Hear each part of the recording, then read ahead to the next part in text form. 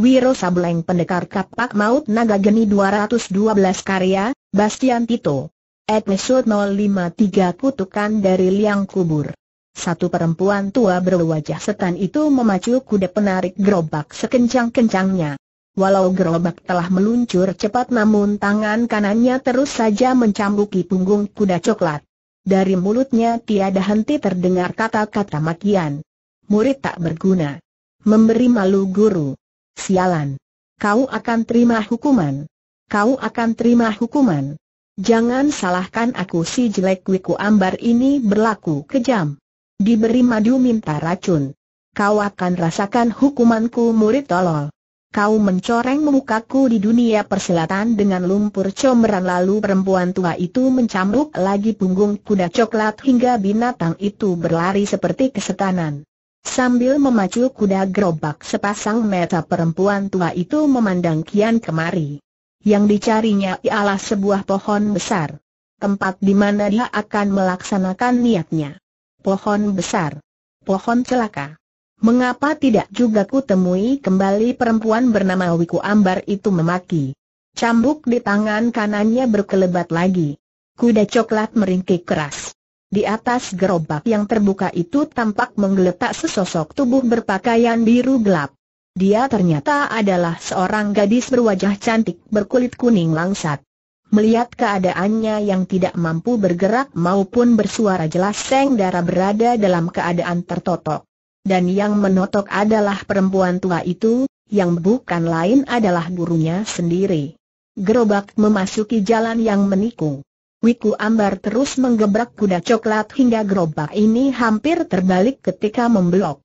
Di balik tikungan jalan membentang lurus dan di kiri kanan jalan tampak tumbuh pohon-pohon besar. Wiku Ambar menyeringai. Dia mencari pohon yang paling besar dan paling tinggi lalu tarik tali kekang kuda kuat-kuat, memaksa binatang itu hentikan larinya dengan mendadak. Roda-roda kereta mengeluarkan bunyi mendengit keras, meninggalkan jejak panjang dan dalam di tanah jalanan. Debu dan pasir berterbangan ke udara. Kuda coklat meringkik keras lalu tertegak diam dengan kepala merunduk ke bawah. Perempuan tua kembali menyeringai. Dia melirik ke arah sosok tubuh muridnya lalu mendengak seraya berkata, pohon hukuman sudah kutemukan. Hukuman harus dilaksanakan. Biar hapus coreng memalukan di muka tua ini lalu Iku Ambar mengambil segulung tali dari atas lantai gerobak. Salah satu ujung tali ini dicantoli kaitan besi. Perempuan ini pegang bagian tali satu tombak di bawah kaitan lalu memutar-mutarnya beberapa kali hingga tali dan kaitan itu mengeluarkan suara menderu keras. Huah Wiku Ambar berteriak dan lemparkan tali ke atas kaitan besi melesat tinggi dan akhirnya mengait di cabang pohon paling atas. Lebih baik putin jauh dulu ke atas sana berkata Wiku Ambar dalam hati. Lalu dengan gerakan enteng dan care yang aneh, perempuan tua ini memanjat tali menuju ke atas pohon. Sampai di atas dia meneliti keadaan pohon itu, memperhatikan ke bawah dan memandang berkeliling. Aku tak salah pilih. Ini memang tempat yang cocok untuk menghukum anak itu lalu dengan cepat Wiku Ambar meluncur turun. Sampal di atas gerobak perempuan tua ini segera panggul tubuh muridnya di bahu kiri. Dia pergunakan ujung tali untuk mengikat tubuh Seng Dara ke tubuhnya. Lalu seperti tadi meski kini dia memanggul beban yang berat Wiku Ambar enak saja memanjat tali, naik ke atas pohon. Sosok tubuh muridnya dibaringkan menelungkup di atas cabang besar. Ini bukan satu pekerjaan mudah membaringkan tubuh yang kaku di atas cabang pohon yang begitu tinggi. Tapi gerakan Wiku Ambar cekatan sekali. Dalam waktu singkat dia sudah membaringkan tubuh darah berpakaian biru itu menelungkup di atas cabang. Lalu dari saku besar pakaiannya Wiku Ambar keluarkan segulung tali halus yang lebih pantas disebut benang berwarna putih berkilau-kilau seolah dibuat dari sutra. Dengan benang itu diikatkannya tubuh muridnya pada cabang pohon hingga sekalipun ada badal melanda, tubuh itu tak akan jatuh ke bawah. Setelah mengikat tubuh muridnya dengan benang aneh itu Wiku Ambar keluarkan lagi sebuah benda dari dalam saku besar. Benda ini diletakkannya pada cabang pohon yang berada tepat di bawah cabang di mana sang murid terbujur menelungkup. Ternyata benda itu adalah seekor burung merpati hutan berwarna kelabu. Binatang ini bertengger di atas cabang pohon tanpa bergerak ataupun keluarkan suara. Wiku Ambar tertawa lebar sambil usap-usap kedua tangannya. Hukuman sudah dilaksanakan. Sebelum pergi aku ingin dengar apa yang akan kau ucapkan. Mungkin juga kau kini berubah pikiran setelah berucap begitu Iku Ambar lepaskan totokan di leher muridnya untuk membuka jalan suara. Tapi Seng murid hanya diam dan memandang saja pada gurunya, tak mau membuka mulut mengatakan apa-apa. Cempaka, apakah kau masih tetap pada jalan pikiranmu semula? Atau sekarang mau merubahnya yang ditanya tetap diam saja? Benar-benar murid tak tahu diri. Apa yang aku lakukan adalah untuk kebaikan masa depanmu sendiri. Mengapa kau menolaknya? Mengapa kau lebih tega mencoreng muka memberi malu diriku? Mengapa kau lebih suka menerima hukuman seperti ini gadis bernama Cempaka itu masih diam. Hanya sepasang matanya saja yang memandang tak berkesip pada wajah tua menyeramkan itu. Cempaka. Kau tidak tuli dan jalan suaramu sudah kubuka. Ayo buka mulutmu jawab pertanyaan Kuiku Ambar jadi tak sabaran lalu membentak. Bibir sang murid tampak bergerak. Akhirnya terdengar juga suaranya berkata, jadi karena aku mempunyai pendapat dan jalan pikiran yang berbeda maka guru tega menghukumku seperti ini, murid bodoh. Ini bukan cuma perbedaan pendapat dan jalan pikiran. Tapi kau telah mencoreng malu besar ke mukaku kau telah mengguyur diriku dengan air comberan. Semua orang di dunia persilatan mentertawaiku. Dan terutama sekali aku benar-benar tak punya muka dan harga diri lagi terhadap sahabat Kuronggo Gampito serta muridnya yang bernama Jatayu itu guru hampir 20 tahun aku menerima kebaikan darimu. Sebagai murid aku telah mengabdikan diri sebaik yang bisa kulakukan. Namun bagi masa depanku, Aku tak ingin seorang pun yang menentukan. Termasuk guru. Kalaupun kedua orang tuaku masih hidup, aku akan melakukan hal yang sama seandainya mereka memaksakan kehendak, murid tidak membatas guna. Jadi kau tetap pada pendirianmu hah? Tidak mau merubah? Bahkan tidak mau memandang sebesar mata terhadapku. Guru, selama hayat dikandung badan aku tetap menghormati guru. Hanya saja untuk urusan yang satu itu aku tidak dapat memenuhinya Wiku Ambar gerakan tangan kirinya. Berat. Cabang pohon di sebelah kiri patah dan jatuh ke bawah kena hantaman tangan perempuan tua itu yang tak dapat lagi mengendalikan amarahnya. Kau dengar baik-baik cempaka. Mulai detik ini hukuman jatuh atas dirimu. Jika kau tidak mau merubahnya maka kau akan menemul ajal secara perlahan-lahan di atas pohon ini. Namun aku masih memberikan satu kesempatan terakhir. Jika kelak pikiranmu berubah maka pergunakan mulutmu untuk meniup burung merpati yang bertengger di bawahmu. Begitu burung itu merasakan tiupanmu, dia akan terbang ke tempat kediamanku. Jika aku melihat burung ini muncul, itu pertanda bahwa kau bersedia memenuhi permintaanmu. Maka aku akan datang kemari untuk membebaskanmu habis berkata begitu Iku Ambar totok kembali jalan darah di leher muridnya tapi dia juga menekan salah satu bagian tengkuk gadis itu. Sebelum pergi dia berkata lagi, aku masih mengharapkan kau akan berubah pikiran. Mulutmu memang tak bisa bicara atau bersuara. Tapi kau bisa meniup. Nah, tiuplah merpati itu setelah menatap wajah muridnya sesaat, Wiku Ambar meluncur turun dengan tali. Lalu tali itu digulungnya, dicampakkan ke atas gerobak. Huah Wiku Ambar berseru. Cambuk di tangan kanannya berkelebat tiga kali. Kuda penarik gerobak menghambur ke depan dua kesunyian malam dirobek oleh berbagai suara yang menakutkan. Mulai dari suara burung hantu sampai pada suara mendesis di antara semak belukar. Lalu suara menggereng dan sesekali ada lolongan anjing hutan di kejauhan.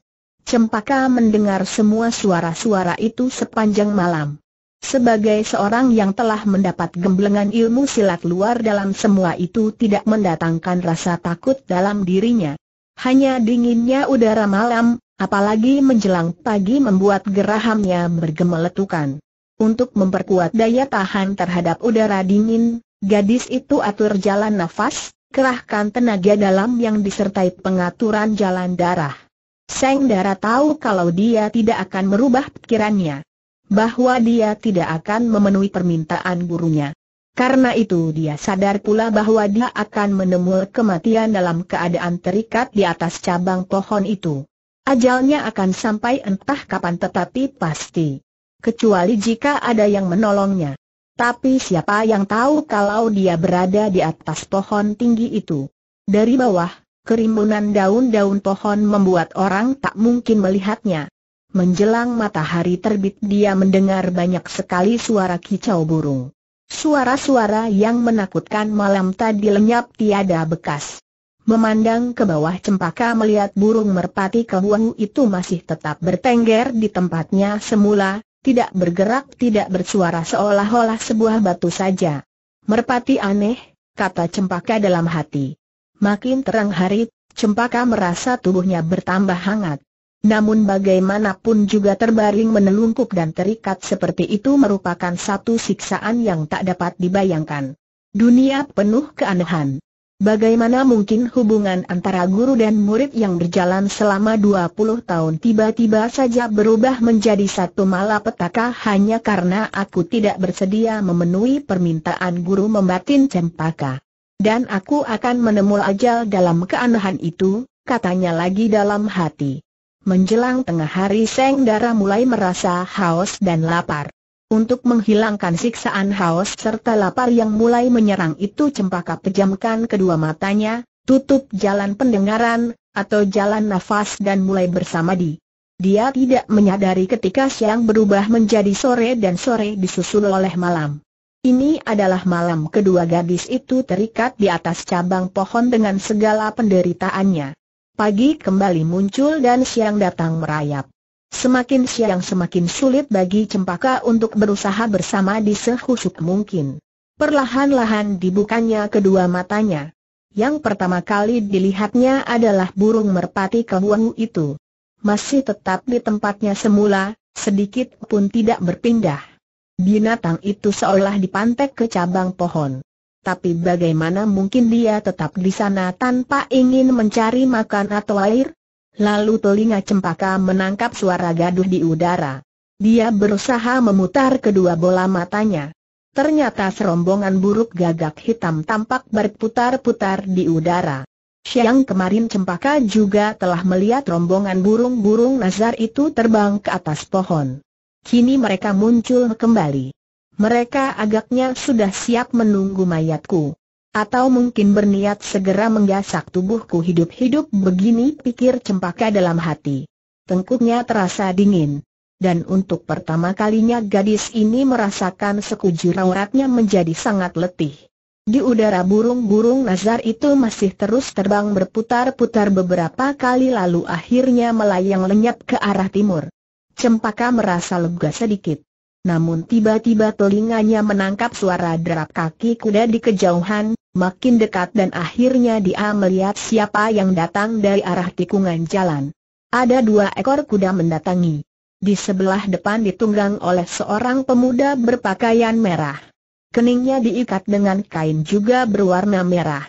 Wajahnya ditumbuhi berwok yang sengaja dicukur tipis dan rapi. Pemuda ini memiliki sepasang mata besar, berkilat dan pandangannya dingin tapi tajam. Di belakang binatang tunggangan pemuda berbaju merah ada kuda kedua. Penunggangnya seorang kakek berpakaian putih yang tergeletak melintang di atas pinggang kuda. Orang tua ini berada dalam keadaan tertotok baik aurat maupun jalan suaranya. Dagunya sebelah kiri nampak memar bekas pukulan benda keras. Matanya sebelah kanan bengkak merah dan kebiruan di bagian rongganya metus satu ini hampir tertutup. Meskipun sudah tua tetapi orang ini memiliki tubuh tegap gempal. Otot dan urat-urat di lengan dan betisnya tampak menonjol. Sambil menunggang kuda, pemuda baju merah selalu memandang ke kiri dan ke kanan seolah-olah mencari sesuatu. Tak berapa jauh dari pohon besar di mana cempaka terikat dia hentikan kudanya, memandang berkeliling lalu mengangguk beberapa kali. Ini tempatnya yang paling cocok, katanya dalam hati. Lalu dia berpaling pada orang tua yang menggeletak di atas kuda di belakangnya dan berkata, Tempat yang paling cocok untukmu sudah kutemukan kita Likumba. Sekarang terserah padamu apa memang mau mati atau ingin panjang umur setelah berkata begitu si pemuda keluarkan suara sultan keras. Dari kelokan jalan cempaka melihat muncul dua penunggang kuda. Keduanya berpakalan hitam yang sudah lusuh dan banyak robek. Kelihatannya mereka adalah orang-orang desa yang biasa bekerja keras. Yang satu membawa pacul, satunya lagi membawa alat berbentuk sekop. Pemuda baju merah menunjuk ke arah kerapatan pepohonan besar di mana salah satu di antaranya adalah pohon tempat cempaka berada. Dua tombak di belakang pohon paling besar sana. Gali si baju merah memerintah pada dua orang lekaki berpakalan hitam. Tidak perlu lobang besar, tapi harus cukup dalam sampai sebatas leher dua orang di atas kuda yang barusan saja turun sama-sama berpaling pada si baju merah. Satu di antara mereka bertanya, sebatas leher. Maksud Raden sebatas leher apa? Sebatas leher siapa jangan banyak tanya. Tugasmu hanya menggali. Untuk itu kalian ku bayar. Gali saja, aku akan memberitahu jika sudah cukup dalam dua tukang gali tak berani berkata apa-apa lagi. Mereka mengerling sekilas pada sosok tubuh orang tua yang tergeletak di atas punggung kuda. Lalu keduanya melangkah ke arah yang tadi ditunjuk si pemuda dan mulai menggali. Sambil menggali salah seorang dari mereka berbisik, setahuku orang tua berbaju putih itu tidak mati. Hanya pingsan. Apakah lubang ini digali untuk menguburnya tanda tanya kurasa memang iya. Aku punya firasat tidak enak. Kalaupun dia sudah mati mengapa bukan kubur biasa yang harus kita buat bisik-bisik itu rupanya sempat terdengar oleh pemuda berpakaian merah. Dia segera mendatangi dan membentak. Apa yang kalian bicarakan berbisik-bisik? Tugas kalian bekerja gali lubang. Bukan ngobrol maafkan kami Raden. Lobang segera siap jawab orang yang memegang sekop. Kerja saja jangan banyak mulut bentak pemuda itu. Dua pekerja meneruskan menggali tanpa berani bicara atau berbisik satu sama lainnya. Tak lama kemudian lobang dengan ukuran yang diminta itu selesai. Bentuknya agak bulat seukuran tubuh manusia. Tingginya sekitar satu setengah tombak yaitu sekira ketinggian leher manusia. Cukup pemuda baju merah berseru. Sekarang kalian berdua minggir dulu, pemuda itu turun dari kuda. Ditariknya tubuh orang tua yang menggeletak di atas punggung kuda lalu dipanggulnya. Dia melangkah menuju lubang. Di tepi lubang dia membungkuk. Tidak susah baginya untuk memasukkan kedua kaki orang tua itu ke dalam lubang. Lalu perlahan-lahan tubuh tua itu diluncurkannya ke dalam lubang. Luncuran tubuh terhenti begitu kedua kaki menyentuh dasar lubang dan tubuh orang tua itu tertanam tepat sebatas leher. Kepala yang menyambul dari atas lubang itu tidak bergerak. Sepasang mata yang melotot juga tidak berkesip. Timbun pemuda baju merah memerintah pada dua orang yang barusan menggali lubang itu. Dua orang itu tampak ragu-ragu. Keparat. Kalian tidak mendengar perintahku bentak pemuda baju merah. Raden. Orang tua itu, orang tua itu kenapa hardik si pemuda lalu laak. Satu tamparan dilayangkannya ke muka orang yang tadi membuka mulut hingga bibirnya luka dan berdarah. Sakit dan takut orang ini akhirnya pergunakan paculnya untuk menimbunkan tanah ke lubang di mana orang tua berbaju putih itu berada. Kawannya segera pula angkat sekopnya membantu. Dalam waktu singkat tanah sudah menimbun sosok tubuh si orang tua. Dengan kedua kakinya pemuda tadi menginjak-injak timbunan tanah agak lebih keras. Tugas kalian selesai. Sekarang akan kuberikan bayarannya pemuda itu berkata dan mengeruk saku pakaiannya. Dari saku itu dikeluarkannya sebuah kantong kain yang dari derinya yang terdengar jelas berisi uang. Kantong itu diulurkannya pada orang yang memegang pacul yang diulurkan maju beberapa langkah untuk menerimanya, namun sebelum sempat tangannya menyentuh kantong uang itu, tangan kanan pemuda baju biru tiba-tiba melesat ke kepalanya. Praak! Kepala itu langsung rengkah. Orangnya berteriak keras lalu roboh. Paculnya tercampak ke tanah. Raden! Kau teriak pekerja yang memegang sekop dengan muka pucat saking terkejut dan tak percayanya melihat kematian temannya seperti itu. Ketika pemuda itu melangkah mendatanginya serta merta dia membalikan tubuh ketakutan dan lari sekencang-kencangnya dari tempat itu. Si baju merah tertawa bergelak. Dia mengambil pacul yang tercampak di tanah. Benda ini diputarnya dua kali lalu dilemparkannya ke arah orang yang lari. Terdengar satu pekik kematian. Orang penggali lubang itu tampak tersungkur di tanah. Kedua kakinya melejang-lejang beberapa kali lalu diam. Dia mati dengan pacul menancap dan hampir memutus lehernya. Dengan cepat pemuda baju merah menaikkan mayat dua pekerja itu ke atas kuda masing-masing lalu menggebrak binatang itu hingga keduanya lari tinggalkan tempat itu tiga setelah dua ekor kuda yang membawa dua mayat penggali lubang itu lenyap di kejauhan, sambil mengusap-usap berwoknya pemuda tadi melangkah menuju lubang lalu berjongkok dekat tubuh yang ditanam. Dua jari tangannya ditusukkan ke salah satu bagian leher. Kepala si orang tua masih tetap kaku tak bisa bergerak, tap sepasang matanya kini kelihatan bergerak dan jalan suaranya yang tadi dibikin gagu kini terbuka. Sepasang mata itu menatap penuh kebendan pada pemuda yang berjongkok di hadapannya. Kali mundu murid laknat. Kenapa kau melakukannya tanggung-tanggung? Kenapa tidak segera kau bunuh saja diriku kepala yang ditanam itu mendamprat? Yang didamprat keluarkan suara tertawa mengejek.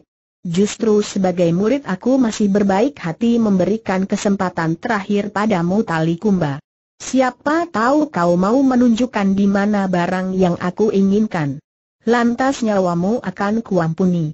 Kau akan ku keluarkan dari lubang maut yang jadi liang kuburmu ini dan kau akan bisa menikmati hidup di dunia ini beberapa belas tahun lagi orang tua yang dipanggil dengan nama Tali Kumba itu menyeringai lalu berkata, dekatkan mukamu padaku. Akan ku beritahu di mana kitab ilmu silat empat penjuru angin itu berada bagus. Itu belum terlambat guruku uja kali mundur lalu membungkuk dan dekatkan mukanya ke dekat muka si orang tua. Cuh!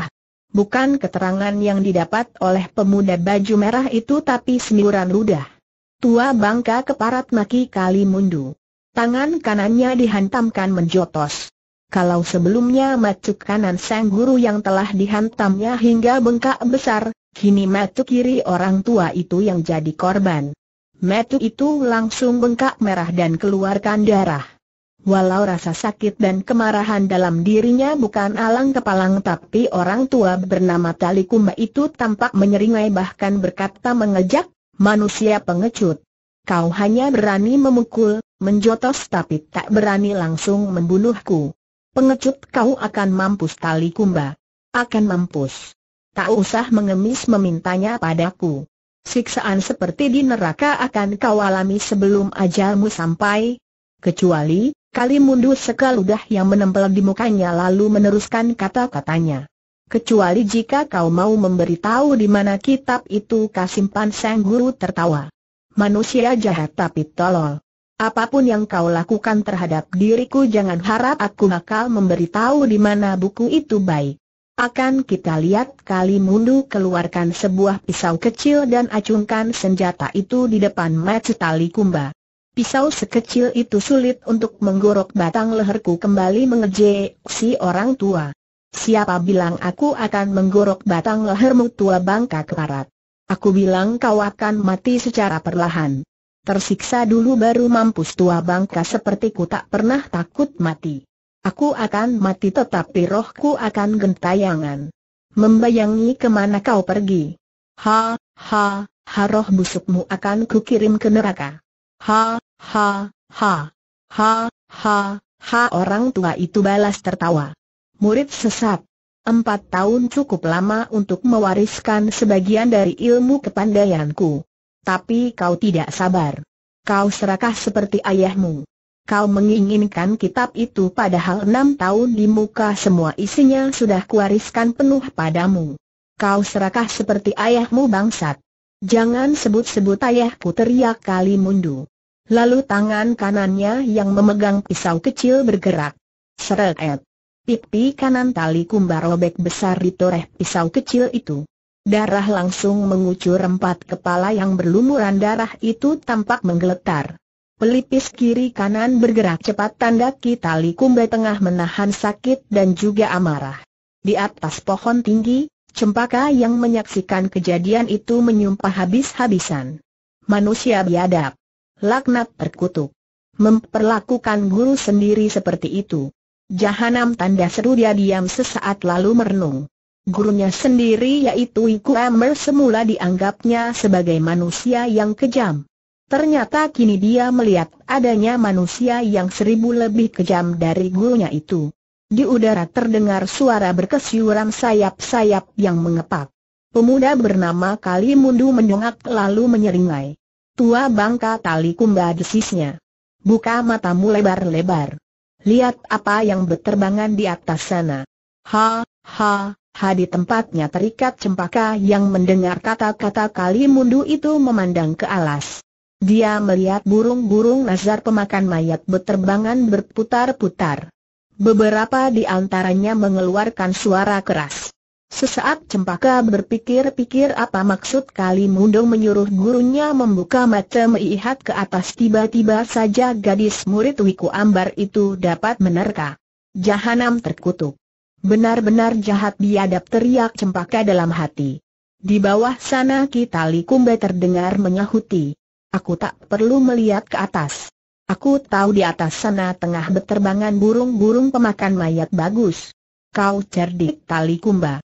Berarti kini kau tahu kematian bagaimana yang bakal kau hadapi, ha, ha, ha, kau kira aku takut kali mundu ujar orang tua yang tubuhnya ditanam sebatas leher itu sedang mukanya berlumuran darah. Mungkin kau hanya berpura-pura tali kumba. Banyak memang orang yang tidak takut menghadapi kematian. Asal saja kematian itu wajar. Tapi maut yang bakal kau hadapi sungguh mengerikan. Burung-burung Nazar itu sudah mencium bau darahmu. Sebentar lagi mereka akan menukik turun mendatangi tempat ini. Mematuki kulit kepalamu, mencongkel kedua matamu, melahap hidung, telinga dan pipimu. Lalu jika tak ada lagi daging kepalamu yang bisa mereka santap, burung-burung nazar itu akan mematuki tempurung kepalamu, mencongkel otakmu. Kau al, an menderita sejuta kesakitan lalu mampus perlahan-lahan. Kecuali. Tentu saja masih ada kecualinya tali kumba. Katakan di mana kitab silat iluka sembunyikan kali mundu saat ini kau tidak lagi berhadapan dengan tali kumba. Tapi dengan roh yang siap mengutukmu. Manusia anjing berhati iblis. Dengar baik-baik. Dari liang kubur tempat kau menanam tubuhku ini kutuku akan menimpa darimu. Mulai saat ini bencana dan malapetaka akan menjadi bagianmu. Kau akan hidup dalam malapetaka sampai akhirnya mampus dalam malapetaka. Tuhan akan mendengarkan permintaan orang yang teraniaya kalau begitu kenapa tidak minta tolong saja pada Tuhanmu agar membebaskan dirimu dari malapetaka saat ini? Haha, ha, kali mundu, kau telah menganiaya diriku. Kini kau menghina nama Tuhan. Kutukanku dan kutukan Tuhanmu akan jadi satu menghancurkan hidupmu. Kentut busuk teriak kali mudu lalu bangkit berdiri. Kaki kanannya diletakkannya di atas kepala gurunya. Lalu dengan tumitnya didorongnya kepala itu keras-keras. Kau telah memilih kematianmu sendiri tali kumba. Kau boleh menyimpan rahasia tapi aku pasti akan mendapatkan kitab ilmu silat itu habis berkata begitu kali mundu melangkah ke tempat kudanya menunggu, naik ke punggung binatang ini dan tinggalkan tempat itu menuju ke selatan. Di udara burung-burung nazar terbang semakin rendah dan suara mereka bertambah bising. Salah seekor dari mereka keluarkan suara aneh dan keras lalu menukik ke bawah. Puluhan kawannya mengikuti. Di lain saat cempaka yang ada di atas pohon melihat bagaimana puluhan burung pemakan mayat itu tahu-tahu sudah ada di bawah sana dan mulai mematuk serta menggerogoti kepala kitali kumba orang tua yang malang itu. Cempaka pejamkan kedua matanya, tak berani menyaksikan apa yang terjadi. Perutnya yang kosong lapar mendadak terasa mual. Dia seperti hendak muntah, tapi tak ada yang keluar dari mulutnya selain desau nafas. Akhirnya gadis ini pingsan di tempatnya terikat lima rumah kayu itu terletak di puncak bukit di Tenggara Samigatuh tak berapa jauh dari aliran Kali Progo. Inilah tempat kediaman kita Likumba. Ke sinilah Kali Mundu memacu kudanya. Terakhir kali dia berada di situ adalah sekitar satu bulan yang lalu. Tapi saat itu dia belum berani mengatakan niatnya untuk meminta kitab ilmu silat empat penjuru angin itu. Baru sekitar satu minggu lalu dia mengemukakan hasratnya itu pada sang guru. Namun permintaannya ditolak. Ki Tali Kumba meminta agar dia terus bersabar belajar dan melatih diri sampai enam tahun di muka. Karena itu berarti sama saja dengan dia telah memiliki serta mewarisi seluruh isi kitab silat yang memang termasuk langka dalam dunia persilatan itu. Hanya saja kali Mundu merasa tidak sabar malah memasang niat jahat dalam hatinya. Di suatu tempat, dengan segala kelicikannya dia berhasil melumpuhkan sang guru dengan jalan minotok. Dalam keadaan tak berdaya tali kumba dipaksanya untuk memberitahu di mana kitab silat itu berada. Ketika sang guru menolak maka dihajarnya orang tua itu. Seperti diceritakan sebelumnya Tali Kumba kemudian dibawa ke suatu tempat dan dikubur hidup-hidup. Melewati jalan yang cukup sulit akhirnya Kali Mundu sampai di puncak bukit. Alangkah terkejutnya pemuda baju merah ini ketika mendapatkan rumah kediaman gurunya berada dalam keadaan hancur berantakan. Pintu dan jendela bertanggalan. Dinding dan atap ambrol. Bagian dalamnya porak-poranda. Kasur tipis ketiduran gurunya jelas bekas ditore orang. Apa yang terjadi?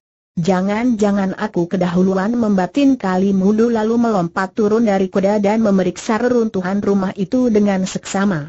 Reruntuhan dinding dan atap ditelitinya. Dia juga menggali beberapa bagian dari lantai tanah. Tapi dia tidak menemukan apa yang dicarinya. Celaka. Jangan-jangan aku memang sudah didahului orang kali mundu meninju-ninju telapak tangan kirinya dengan tangan kanan seraya memandang berkeliling. Saat itulah tiga bayangan hitam berkelebat dan tahu-tahu tiga manusia bertubuh sama-sama kurus dan sama-sama jangkung telah berada di hadapan pemuda berpakaian merah itu. Masing-masing mereka membekal sebilah golok panjang sedang lengan serta pergelangan kaki memakai gelang bahar besar. Ketiganya menyeringal dan kelihatanlah barisan gigi-gigi mereka yang besar-besar berwarna aneh, yaitu biru. Kali mundu perhatikan tiga pendatang ini dengan cepat. Dari ciri-ciri mereka dia segera tahu tengah berhadapan dengan siapa dirinya saat itu. Sambil mengusap berwoknya Kali mundu berkata, Hem, kalian pastilah tiga iblis bergigi biru tepat sekali sahabat mudaku. Matamu tak salah lihat, mulutmu tak salah mengucap. Kami memang tiga iblis bergigi biru dari muara kali porong. Kami pendatang baru dalam dunia persilatan. Tapi sembilan tokoh silat sudah kami bunuh. Dua perguruan silat dan satu pesantren sudah kami hancurkan. Bahkan serombongan pasukan dari kota raja yang coba menghadang kami di hutan dadali pulang ke kota raja tinggal nama belaka. Kurasa cukup sekian dulu keteranganku. Hik, Hai, hai tanda seru yang barusan angkat bicara adalah si kurus jangkung yang tegak diapit oleh kedua kawannya. Kali mundu mengangguk-angguk. Dia sudah maklum kalau kemunculan tiga manusia berpakaian serba hitam ini tidak membawa maksud baik. Namun dia tak dapat menduga apa tujuan kemunculan mereka sebenarnya. Maka pemuda itu pun bertanya. Jauh-jauh datang kemari tentu kalian membawa maksud tertentu. Atau mungkin hanya kebetulan lewat di sini hingga ini adalah pertemuan yang tidak disengaja orang yang di tengah berpaling pada kawannya yang tegak di samping kiri. Silahkan kau yang menjawab katanya pula. Si teman menyeringai dulu baru membuka mulut. Jauh berjalan banyak dilihat. Membekal maksud tentu ada makrifat. Kami tidak hanya kebetulan lewat di sini. Dan pertemuan ini bukan sesuatu yang tidak disengaja. Sejak pagi buta tadi kami bertiga telah menunggumu di puncak bukit ini hem, begitu ujar Kali Mundu. Otaknya bekerja cepat.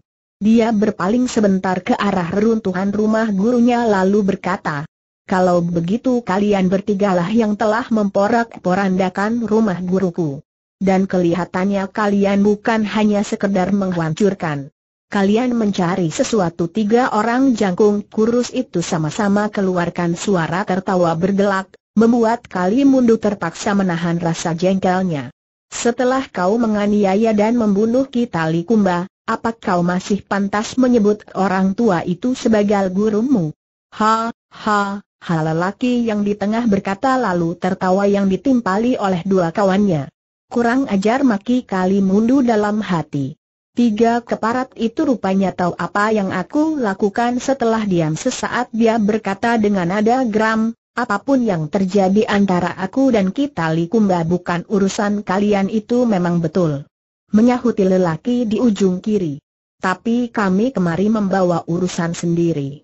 Kami yakin kau bisa membantu. Bukan begitu teman-teman dua lelaki lainnya sama mengiyakan lalu menyeringai memandang pada Kalimundu. Dengar, aku tidak punya waktu banyak. Lekas katakan apa keperluan kalian kata kali mundur pula.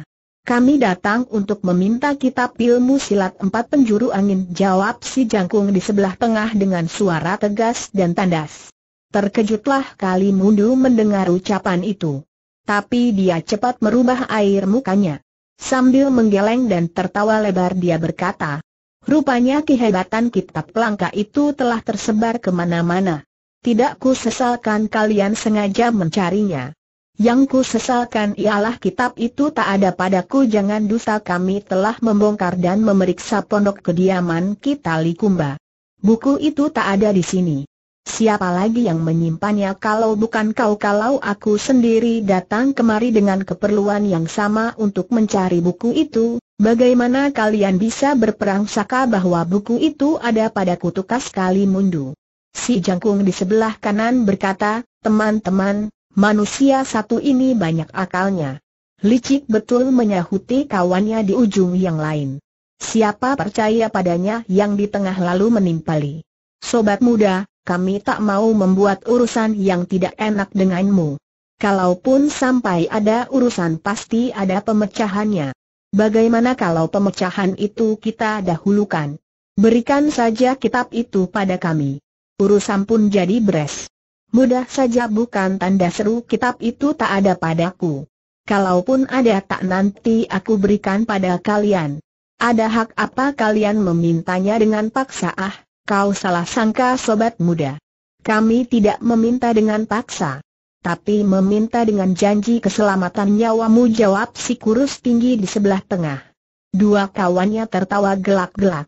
Melihat gejala yang tidak enak ini apalagi mengetahui ketiga orang itu telah menggeledah rumah tali kumba dan tak berhasil menemukan kitab ilmu silat yang juga tengah dicarinya maka kali mundu berpikir sebaiknya dia tinggalkan saja bukit itu di lain kesempatan dia akan kembali lagi ke situ guna melakukan penyelidikan ulang. Para sahabat, berkata Kalimundu. Sayang aku tak punya banyak waktu. Kalian mau meneruskan memeriksa rumah itu bahkan seluruh puncak bukit ini silahkan saja aku harus pergi sekarang juga ah, siapa yang ingin melarang kau mau pergi ke mana sobat muda? Hanya saja sebelum kau pergi kamu harus menggeledah dirimu dulu. Bukan mustahil kitab itu kau sembunyikan di balik pakalanmu marahlah kali mundu mendengar ucapan itu. Kalan jangan keliwat memaksa dan menghina. Kesabaranku ada batas eh, lalu apa kesabaran kami tidak ada batasnya ujar si jangkung yang di tengah dengan ketus. Kalau begitu kalian sengaja mencari seliang sengketa. Biar kalian menyandang gelar menakutkan, Biar kalian bertiga apa kalian sangka aku takut tiga orang di hadapan kali mundu tertawa gelak-gelak. Anak manusia satu ini memang tidak penakut. Gurunya saja dihabisi, apalagi kita. Kawan-kawan bersiaplah melihat orang-orang itu memang sengaja merencanakan kekerasan maka tanpa menunggu lebih lama kali mundu segera berkelebat. Yang diincarnya adalah lelaki paling tengah yang paling banyak bicaranya yang diserang segera berkelit. Dua kawannya bergerak ke samping demikian rupa hingga kini kali mundu terkurung di tengah-tengah. Begitu lawan terjepit, tiga iblis bergigi biru itu langsung menggebrak dua jotosan dan satu tendangan berkelebat mencari sasaran di tubuh kali mundu. Empat tahun jadi murid kita Likumba dan baru mempelajari kurang dari setengah dari ilmu silat empat penjuru angin ternyata telah cukup membuat Kali Mundu menjadi seorang pendekar yang tidak bisa diperlakukan sembarangan. Dia membuat gerakan berputar setengah lingkaran. Dua tangan dan kaki kiri berkelebat. Buk, buk, buk. Dua pengeroyok terpental sambil pegangi lengan mereka yang tampak merah bengkak. Orang ketiga terhuyung-huyung sambil pegangi perutnya yang dimakan tendangan. Kagetlah tiga iblis bergigi biru. Mereka tidak menyangka ilmu silat tangan kosong empat penjuru angin demikian luar biasanya hingga dalam satu jurus saja ketiganya kena dilabrak begitu rupa. Seperti sudah berjanji lebih dahulu ketiga mengeroyok segera menghunus golok masing-masing. Mati mereka menyorotkan sinar pembunuhan enam seperti diketahui ilmu silat yang dimiliki Kali Mundu adalah yang dipelajarinya dari kita Likumba. Selama empat tahun di Gembleng dia telah menyelesaikan empat per sepuluh bagian dari kitab ilmu silat empat penjuru angin yang dijadikan pegangan oleh sang guru. Sampai tahun keempat itu semua pelajaran adalah menyangkut ilmu silat tangan kosong dan tenaga dalam serta sedikit pukulan sakti. Itu diteruskan sampai tahun ke-6.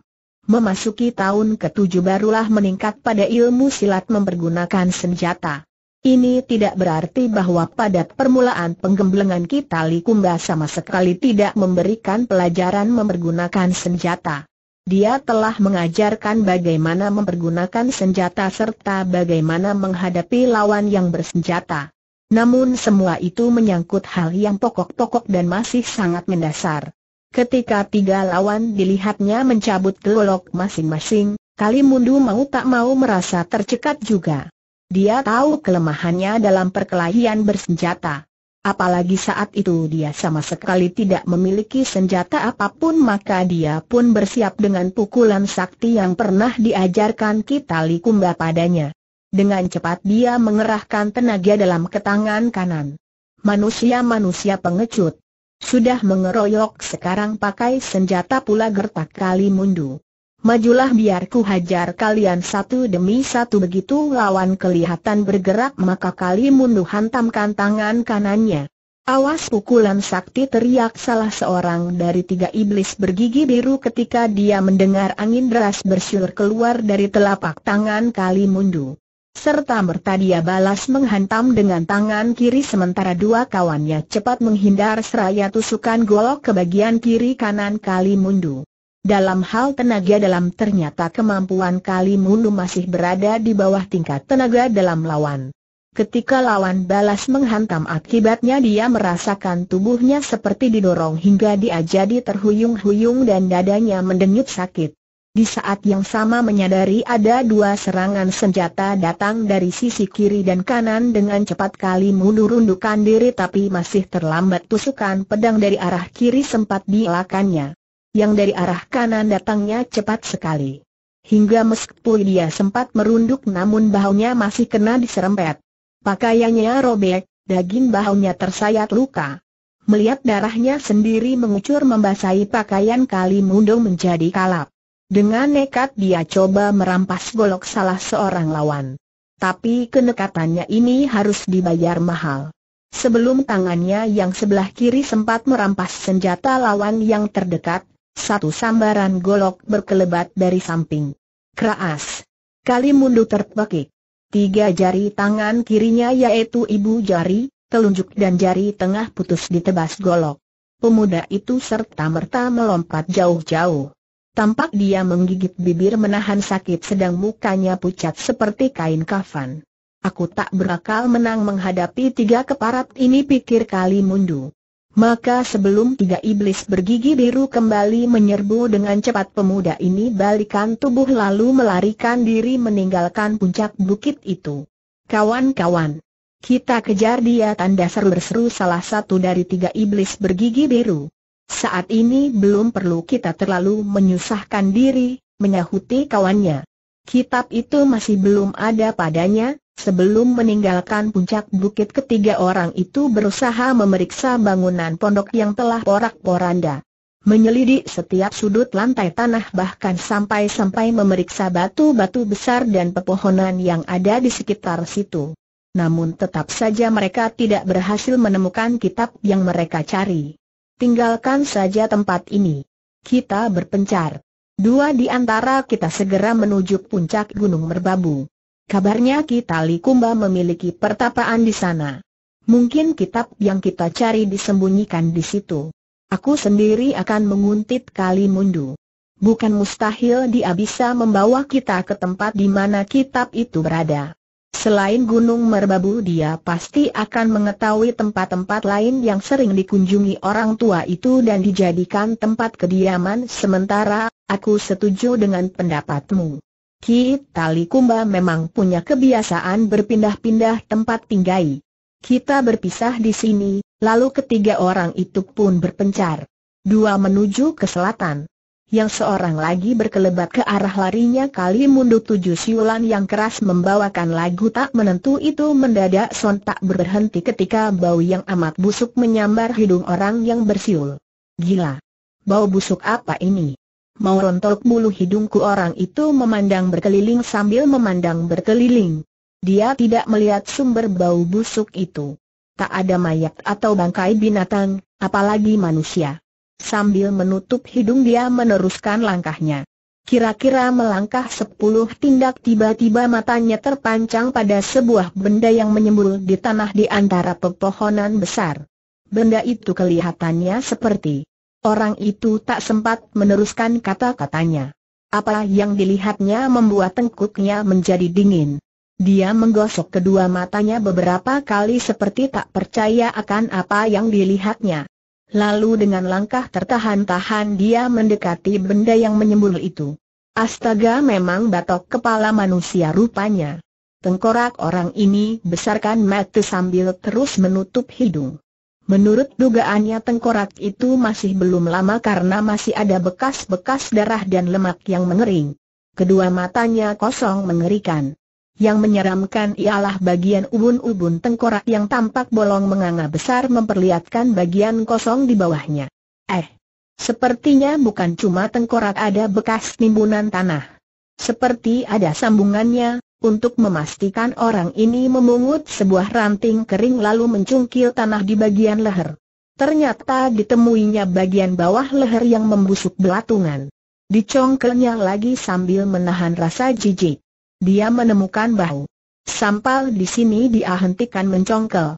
Rasa ngeri membuat orang ini melangkah mundur sambil garuk-garuk kepala.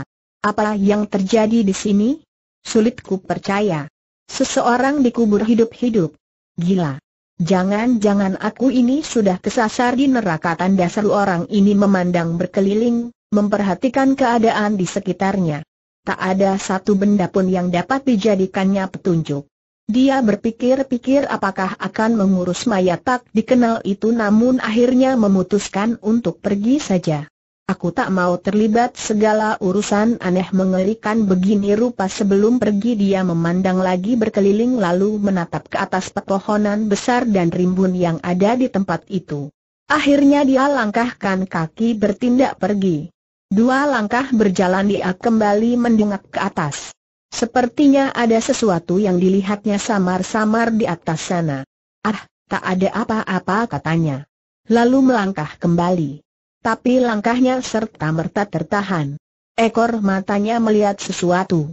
Dia mendekati pohon paling besar dan paling tinggi di tempat itu dan jadi terheran-heran ketika melihat sesosok tubuh perempuan berpakaian biru gelap berbaring menelungkup di atas cabang pohon paling atas. Rambutnya tergeral riap-riapan hingga orang di bawah pohon tidak dapat melihat wajahnya dengan jelas. Masih banyak perempuan gila di dunia ini rupanya, kata orang tadi pula seraya garuk-garuk kepala. Tidur di atas pohon besar di tepi rimba belantara sementara di bawahnya berkecamuk bau busuk dari mayat manusia yang kepalanya berubah jadi tengkorak secara aneh orang ini geleng-geleng kepala. Di udara terdengar suara burung-burung melayang. Ketika diperhatikannya ternyata sekelompok burung-burung nazar tengah terbang berputar-putar. Hem, jangan-jangan burung-burung itu yang telah menggeragoti kepala manusia ini. Tapi siapa yang menguburnya begini rupa? Seperti disengaja. Bukan mustahil tubuh perempuan di atas sana sudah jadi mayat pula. Tapi tak mungkin. Tak mungkin. Kalau tubuh di atas itu juga telah jadi bangkai, pasti sudah habis digerogoti oleh burung-burung nazar itu. Sebaiknya aku memanjat ke atas sana dan memeriksa, lalu orang ini melompat ke cabang pohon yang paling rendah. Dari sini dia naik lagi ke cabang pohon di atasnya, demikian seterusnya hingga akhirnya dia sampai di cabang paling atas di mana terbaring sosok tubuh cempaka dalam keadaan terikat.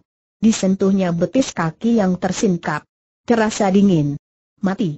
Tapi dia tak percaya. Dengan hati-hati orang itu merayap di atas tubuh yang terbaring itu lalu mendekatkan telinganya ke punggung. Walau sangat perlahan dia masih bisa mendengar degup jantung tanda kehidupan. Sewaktu dia hendak menyibakkan rambut yang tergeral menutupi wajah, matanya membentur sosok burung merpati kewu yang bertengger di cabang sebelah bawah. Satu keanehan lagi. Mengapa burung itu berada di sana dan seperti kaku tak bergerak dia berpikir sejenak. Ah, persetan dengan merpati itu, katanya kemudian. Lalu dia meneruskan menyebabkan rambut panjang yang tergerai itu. Ketika rambut berhasil disingkapkannya terlihatlah wajah perempuan itu. Astaga! Kurasa sudah jadi mayat belatungan. Ternyata masih segar. Cantik lagi. Hanya sedikit pucat. Eh, tidur atau pingsankah si jelita ini orang itu coba menepuk-nepuk punggung gadis yang terbaring di atas cabang. Tak ada sahutan, tak ada gerakan apa pun. Orang itu pandangi tubuh tersebut sambil garuk kepala tak habis pikir. Aneh, ilmu apa yang dimilikinya hingga dia bisa enak-enakan berbaring di atas cabang ini tanpa jatuh orang itu ulurkan tangan untuk menepuk kembali punggung si gadis. Pada saat itulah kedua matanya baru melihat benang sutra yang sangat halus melingkar di beberapa bagian tubuh Seng Dara, mengikatnya erat-erat ke cabang pohon. Seseorang membawa gadis ini kemari lalu mengikatnya dengan benang aneh. Kalau bukan pekerjaan orang-orang persilatan masakan ada setan yang melakukan pekerjaan ini lantas orang itu pergunakan tangannya untuk memutus benang sutra kehuahu itu. Tetapi astaga! Bagaimanapun dia berusaha benang itu tak bisa diputuskan. Sialan masakan aku kalah oleh benang ini maki orang itu. Lalu dia kerahkan tenaga dalam dan kembali mencoba. Tetap saja dia tak bisa memutuskan benang sutra itu. Gila. Hanya ada dua atau tiga orang di dunia persilatan yang memiliki benang seatos ini. Satu di antaranya Dewa Tuak. Tapi kakek sahabatku itu mustahil dia mau melakukan pekerjaan seperti ini setelah berpikir sejenak akhirnya orang itu meraba kebalik pakalannya. Ketika tangannya keluar dari balik pakaian menyambarlah sinar putih menyilaukan di atas pohon itu. Sinar itu ternyata keluar dari sebuah senjata mustika yakni sebilah kapak bermata dua. Pada bagian tajam dari kedua mata kapak jelas tampak tertera ukiran tiga buah angka yaitu angka 212. Jadi orang yang naik di atas cabang pohon itu bukan lain adalah pendekar kapak maut naga geni 212 Wiro Sableng, murid yang Sinto Gendeng dari Gunung Gede. Wiro dekatkan matu kapak saktinya ke gulungan benang yang mengikat tubuh si gadis ke cabang pohon dengan hati-hati. Del, del, del, del. Empat ikatan utama langsung putus begitu metu kapak diiriskan ke benang sutra itu. Yang lainnya cukup dengan ditarik hingga kendor dan terlepas. Begitu ikatan benang terlepas sosok tubuh cempaka bergeser ke kiri dan hampir jatuh kalau Wiro tidak lekas-lekas memegangnya. Cepat-cepat pendekar 212 menyimpan senjata mustikanya ke balik pakaian. Ketika dia berusaha menarik sosok tubuh itu, sang gadis yang pingsan siuman sesaat lalu pingsan lagi. Waktu siuman sebentar itu Cempaka sempat menghembuskan nafas panjang. Tiupan nafasnya menyentuh tubuh burung merpati yang berada di cabang pohon sebelah bawah. Terjadilah hal yang aneh. Begitu tiupan nafas menyentuh bulu-bulunya, merpati kewu yang sejak empat hari lalu itu diam seperti batu tiba-tiba menggerakkan kepala, merentangkan kedua sayapnya lalu melesat terbang menuju ke timur. Karena sibuk menolong si gadis, Wiro tidak memperhatikan keanehan burung merpati itu. Bukan pekerjaan mudah menolong gadis yang sudah empat hari terikat di atas cabang pohon itu. Apalagi dirinya dalam keadaan pingsan hingga tak mempunyai kemampuan untuk berpegang ke tubuh Wiro. Salah bergerak atau sempat tergelincir, tubuh pingsan itu akan jatuh ke bawah. Khawatir tubuh Seng Dara jatuh ketika dipanggul dan dibawa turun, Pendekar 212 akhirnya tanggalkan baju putihnya lalu merobeknya di beberapa bagian, menyambungnya satu sama lain hingga menjadi seutas tali yang cukup panjang. Dengan tali ini diikatnya tubuh cempaka ke tubuhnya. Dan lagi-lagi ini bukanlah pekerjaan yang gampang. Ketika dengan sangat hati-hati dan perlahan sekali dia mulai menuruni pohon jantung pendekar 212 berdegup kencang. Sempat tali kain itu putus atau kakinya tergelincir, tamatlah riwayat Seng Dara.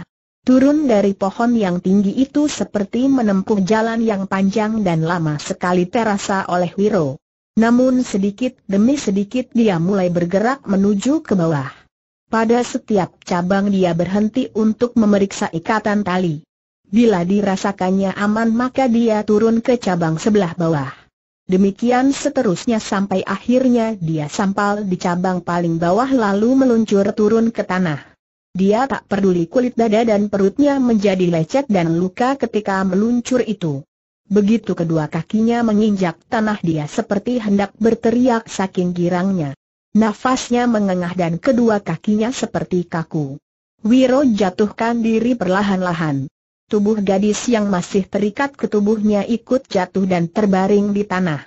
Wiro lalu cepat-cepat buka tali kain itu. Begitu bebas Seng Dara segera dipanggulnya menjauhi tempat yang menebar bau busuk itu. Di satu tempat yang bersih di pinggiran hutan tubuh si gadis dibaringkannya. Lalu Wiro pegang kedua tangan gadis itu dan mulai kerahkan tenaga dalam untuk dialirkan ke dalam tubuh si gadis guna memberi kekuatan padanya. Sekitar sepeminuman teh, ketika tubuh Wiro sudah keringatan sepasang metu cempaka tampak bergerak lalu membuka sedikit. Samar-samar dia melihat seseorang di dekatnya.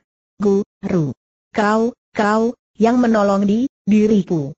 Kau, kau memaafkan aku terdengar si gadis berucap dengan suara sangat perlahan dan terputus-putus.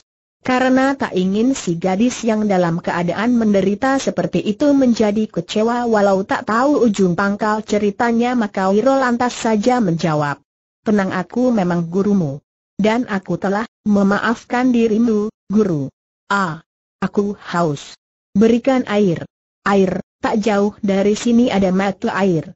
Aku akan mengambilkannya untukmu. Wiro hendak berdiri tapi hatinya ragu. Dia khawatir meninggalkan gadis itu seorang diri di situ maka akhirnya dipanggulnya si gadis dan dibawanya berlari menuju ke metu air jernih. Setelah memberinya minum, membersihkan muka dan tangannya serta membasahi sebagian kepala serta rambutnya si gadis tampak lebih segar. Wajahnya yang sebelumnya pucat kini tampak merah berdarah kembali. Pemandangannya kedua matanya lebih terang. Ketika dia sekali lagi memandang ke arah Wiro terkejutlah dia dan serta-merta berusaha untuk bangkit. Wiro cepat mencegahnya dan membaringkannya kembali. Kau tak usah takut. Kau masih lemah. Berbaring saja dulu, kau, kau bukan guruku. Si, siapa, kau? Mengapa aku berada di tempat ini? Mana pohon itu, mana bu, burung merpati itu tenang saudari. Jangan banyak bicara dulu. Kau berada di tempat yang aman, ujar Wiro sambil mengusap kening cempaka. Saat itu di pelupuk mata si gadis terbayang kembali apa yang dilihatnya empat hari lalu. Serta merta dia menjerit. Orang jahat itu. Orang jahat itu teriaknya sambil menunjuk ke atas. Dia mengubur orang tua itu hidup-hidup. Lihat. Lihat. Burung-burung gagak hitam. Kepala orang tua itu mulai mereka patuki. Mereka mencongkel kedua matanya. Mencabik pipi, mulut dan hidungnya. Ah tanda seru cempaka terhenyak kelemasan dan terbaring kembali setengah sadar setengah siuman delapan kali mundur berlari sekencang-kencangnya menuruni bukit. Di satu tempat di kaki bukit pemuda ini menyelinap ke balik semak belukar, menunggu dan mengintai. Merasa yakin tak seorang pun dari tiga iblis bergigi biru mengejarnya maka dia lantas duduk menjelepok di tanah dan memeriksa luka di tangan kirinya. Tiga jarinya pupus ditebas golok lawan. Bangsat! Kurang ajar! Aku bersumpah membalas kejadian ini. Aku bersumpah merutuk dan menyumpah pemuda itu. Luka di tangan kiri tidak mengucurkan darah lagi karena waktu lari tadi dia sempat menotok urat besar di pergelangan tangan kiri. Tapi rasa sakit masih mendenyut. Apa yang harus kulakukan sekarang tanda seru kali mulu bertanya pada diri sendiri. Langsung ke puncak merbabu menyelidik pertapaan. Atau pulang dulu ke Kuto Gede, setelah menimbang-nimbang beberapa lama pemuda itu memutuskan untuk pulang ke rumah orang tuanya di Kuto Gede. Sudah tiga bulan dia meninggalkan rumah. Ada baiknya memang dia pulang dulu sambil menunggu kesembuhan lukanya. Sebelum bangkit berdiri, Kai Mundu kembali mengintai dan memperhatikan keadaan sekelilingnya. Dia memaki karena tidak sempat melarikan diri dengan kudanya. Tetapi diam-diam dia juga merasa heran, Mengapa tiga iblis bergigi biru tidak mengejarnya? Padahal di puncak bukit itu dia telah meninggalkan kuda miliknya. Tidak bisa tidak pasti mereka punya rencana ujar kali mundu dalam hati. Lalu perlahan-lahan dia berdiri. Tapi baru saja bergerak bangkit tiba-tiba dia mendengar seperti mendengar suara orang tertawa. Suara tertawa itu datang dari jauh. Menggema aneh. Makin dekat, makin dekat lalu lenyap dan berganti dengan ucapan yang menegur dirinya. Kali Mundu. Kali Mundu. Apa yang telah kau alami Kali Mundu? Ha, ha, ha. Bahumu ditusuk orang. Tiga jari tangan kirimu buntung. Ha ha ha. Mana kehebatan ilmu silat empat penjuru angin itu? Kau tak berdaya. Ternyata kau masih lemah. Kepandaianmu masih rendah kali mundu memandang berkeliling. Dia tidak melihat siapa pun di tempat itu. Lalu siapa yang bicara? Suara itu laksana datang dari langit, tapi juga seperti keluar dari tanah. Dan suara itu seperti dikenalnya. Tapi karena menggema sulit diterkanya. Mungkinkah tempat sekitar situ dihuni oleh hantu? Si, siapa? Siapa yang barusan bicara? Tunjukkan dirimu ujar kali mundur pula. Ha, ha, ha. Kau tidak mengenali suaraku tak mengapa. Aku adalah roh dari liang kubur. Ke mana pun kau pergi aku akan selalu mengikuti. Apa pun yang kau lakukan dan apa pun yang terjadi dengan dirimu aku akan selalu menyaksikan. Ha, ha, ha. Kau manusia buronan kutukanku kali mundu. Apa yang barusan kau alami merupakan kutukan pertama. Ha, ha, ha, terkejutlah kali mundu. Parasnya menjadi pucat. Guru kita Likumba. Kaukah itu kali mulu bertanya dengan suara bergetar. Aku bukan gurumu. Aku bukan kita Likumba. Aku adalah roh pembawa kutuk yang akan mengikuti ke mana kau pergi. Ha, ha, ha aku tidak percaya bentak kali mundu seraya berdiri. Mana ada roh yang bisa gentayangan. Kau hantu busuk setan pelayangan. Mengganggu orang secara pengecut. Pengecut habis berkata begitu kali mundu balikan tubuh dan lari sekencang yang bisa dilakukannya. Di belakangnya terdengar suara tawa bergelak yang makin lama makin menjauh dan akhirnya lenyap sama sekali. Dengan nafas mengengah-engah kali mundu memperlambat larinya. Berkali-kali dia berpaling ke belakang. Tak ada yang mengejar, tak ada yang mengikuti. Roh Syalan. Di mana kau? Ayo bicara lagi. Perlihatkan dirimu teriak kali mundu jadi berani. Tak ada jawaban, tak ada yang memperlihatkan diri. Kurang ajar. Jangan-jangan tadi aku bermimpi atau terbawa larut pikiran yang bukan-bukan pikir pemuda itu. Dengan perasaan lebih tenang dia melanjutkan perjalanan menuju Kuto Gede.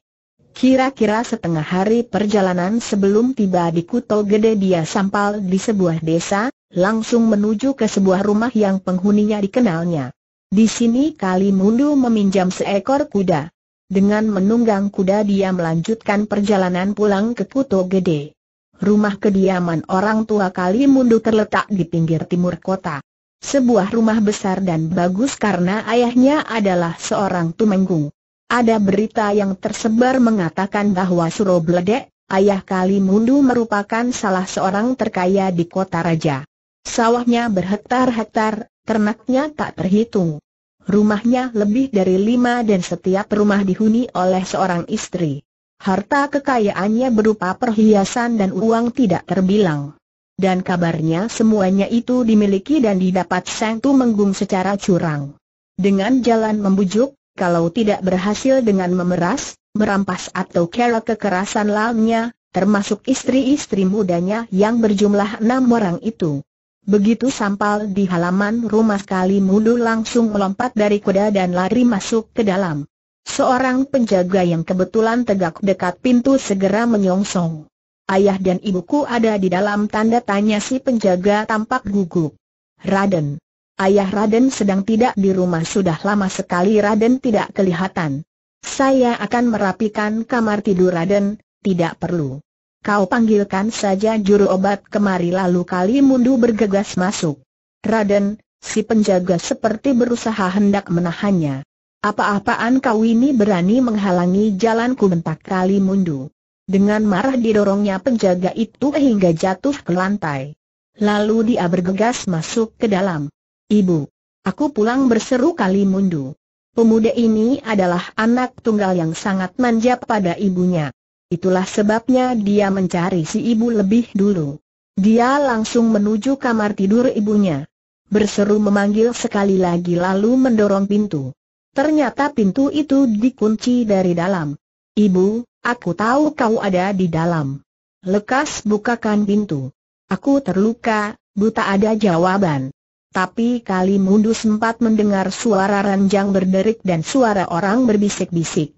Karena curiga kali mundu pergunakan kekuatan untuk melabrak pintu. Pintu terpentang lebar. Kali mundu melompat masuk ke dalam dan sesaat kemudian terdengar teriakan pemuda ini. Manusia manuslah keparat. Kotor busuk. Jahanam di atas ranjang seorang perempuan separuh baya berwajah ayu tapi pucat dan membeliak tampak ketakutan sambil menutupi auratnya yang telanjang dengan selimut. Di sudut kamar seorang lelaki yang dikenal kali mundur sebagai salah seorang sahabat dekat ayahnya tengah berusaha memakai celana sambil lari ke arah jendela. Dengan cepat dia membuka jendela lalu melompat keluar. Tapi kali mundur lebih cepat lagi. Keparat haram jadah. Mau lari ke mana kau dengan kecepatan kilat kali mundung menyambar sebatang tombak yang dipajang di dinding kamar. Senjata ini dilemparkannya ke arah orang yang lari. Sang ibu di atas ranjang terpekik ketika melihat tombak itu menancap di punggung, tembus sampai ke dada. Orang yang hendak melompat jendela mengeluh tinggi, terhuyung nanar lalu jatuh tersungkur di sanding jendela. Kali mundu anakku. Kau, Kau membunuh Pangeran Sarwo Aling teriak perempuan di atas ranjang. Persetan siapa yang kubunuh? Kau juga akan kuhabisi. Perempuan kotor teriak kali mundu. Pemuda ini cabut tombak yang menancap di tubuh Pangeran Sarwo Aling lalu dia membalik. Jangan. Jangan bunuh aku kali mundu. Aku aku akan ceritakan semua padamu apa yang terjadi. Ayah, ayahmu ditangkap dua bulan lalu dituduh ikut terlibat rencana memaksa Sultan. Pangeran Sarwo berusaha menolong. Sesaat kali mundur terkejut mendengar keterangan ibunya itu. Namun di lain saat kemarahan dan kejijikannya tak dapat dibendung lagi. Dia berterlak sambil memegang tombak berlumur darah. Perempuan bejat. Suami di penjara kau menjual tubuhmu pada orang lain. Mampus. Kau harus mampus jangan kali. Teriakan Seng Ibu hanya setengah jalan. Tombak yang dilemparkan puteranya menancap tepat di perutnya yang telanjang. Perempuan itu rebah ke ranjang. Selimut dan seperai putih serta merta bersibak darah. Kali mundu berteriak seperti orang gila. Lalu ia menghambur keluar kamar. Lari ke halaman dan naik ke atas punggung kuda. Binatang itu dipacunya kencang-kencang tanpa tujuan tertentu. Yang penting dia ingin meninggalkan rumahnya, meninggalkan putol gede yang dianggapnya kini bagai tempat manusia-manusia bejat. Pemuda itu tidak tahu berapa jauh dia telah meninggalkan Kuto Gede. Ketika dia sadar, diperlambatnya lari kudanya. Memandang berkeiling ia dapatkan dirinya berada di pinggir daerah persawahan. Dia tahu itu adalah sawah-sawah milik ayahnya yang didapat secara memeras. Sesaat kali Mudu ingat pada ucapan gurunya Kitali Kumba yang mengatakan bahwa ayahnya orang manusia yang serakah. Perlahan-tahan kali mundu memutar kudanya menjauhi daerah persawahan itu. Hujan gerimis mendadak turun. Bersamaan dengan terdengarnya deru angin tiba-tiba telinganya menangkap suara gelak tawa. Suara tawa menggema yang makin lama makin dekat. Suara tawa sama seperti yang didengarnya beberapa waktu lalu. Kuda yang ditunggangi kali mundu meringkik keras. Lalu terdengar suara itu. Kali mundu. Kali mundu. Aku roh pembawa kutuk. Aku datang lagi menemuimu. Ha, ha, ha. Ayahmu di penjara. Ibumu main gila. Kau membunuh Pangeran Sarwo Aling. Kau juga membunuh ibu kandung yang melahirkanmu. Sungguh hebat, sungguh hebat dirimu kali mundu. Tapi sadarilah apa yang terjadi. Itu merupakan sebagian dari kutukanku atas dirimu. Ha, ha, ha jahanam. Aku tidak takut pada kutukanmu. Perlihatkan dirimu roh busuk pengecut teriak kali mundu. Jangan tak kabur kali mundu. Mulutmu bicara berani. Tapi nyalimu sebenarnya sudah lumer. Ha, ha, ha penuh marah kali mundu alirkan tenaga dalam ketangan kanan. Lalu dia menghantam ke tempat di arah mana diperkirakannya makhluk yang bicara berada. Des. Buk. Kali mundu terpekik. Pukulan mengandung tenaga dalam yang baru dilontarkannya membalik melabrak dadanya sendiri. Tubuhnya mencelat dari punggung kuda dan jatuh terkapar di tanah. Ha, ha, ha. Hanya sampai di situ kehebatanmu kali mundu. Ilmumu hanya secuil kecil bangsat. Keparat haram jadah kali mundu memaki habis-habisan. Kali mundu. Lihat luka di tangan kirimu luka itu tak bakalan sembuh akan membusuk dan kebusukan itu akan kau bawa-bawa sepanjang umur. Ha, ha, ha. Tapi kutukanku tidak hanya sampal di sana kali mundu. Pergilah temui kekasihmu. Lihat apa yang terjadi dengan orang yang paling kau cintai itu. Ha, ha, ha. Kutukanku akan berjalan terus kali mundu. Akan berjalan terus ucapan dan suara tawa terdengar semakin perlahan sayup-sayup dan akhirnya lenyap sama sekali. Kali mundu terperangah. Kata-kata makhluk tak kelihatan tadi untuk pertama kalinya mengingatkannya pada kekasihnya. Sesaat dia merasa ragu.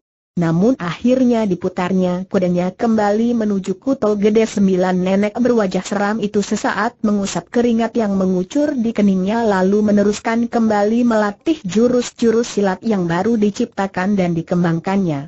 Gerakannya serta merta terhenti ketika matanya melihat seekor merpati kebuahu melayang turun dan hinggap di ujung atap rumah kediamannya. Ah! Akhirnya anak itu mau mengerti juga. Mau mengikuti kehendak Wiku Ambar masuk ke dalam rumah. Ketika keluar tangannya menggenggam beras. Beras ini ditebarkannya di halaman. Burung merpati di atas atap segera turun ke tanah dan mematuki beras yang bertebaran.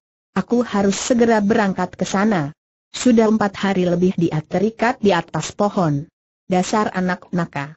Kalau dari dulu-dulu dia mengikuti keinginanku, tak bakal dia menderita begitu rupa. Wiku Ambar tinggalkan tempat kediamannya. Berlari menuju ke timur secepat yang bisa dilakukannya. Kita kembali dulu pada Cempaka yang telah mendapat pertolongan dari pendekar 212 Wiro Sableng. Satu hari setelah cempaka diturunkan dari atas pohon, gadis itu masih berada di dekat metu air jernih ditemani oleh Wiro. Tubuhnya masih terasa lemah tapi kesehatannya tak kurang suatu apa. Malam ini kita masih harus bermalam di sini, cempaka. Besok kurasa kekuatanmu sudah pulih. Apakah kau akan pergi ke tempat gelurumu atau ke mana bertanya Wiro? Untuk beberapa lamanya cempaka tak menjawab. Dia menimang-nimang buah semangka hutan yang dicarikan Wiro untuknya. Aku tak tahu mau pergi ke mana, akhirnya terdengar suara cempaka. Tapi yang jelas aku tak akan mau lagi menemui guru.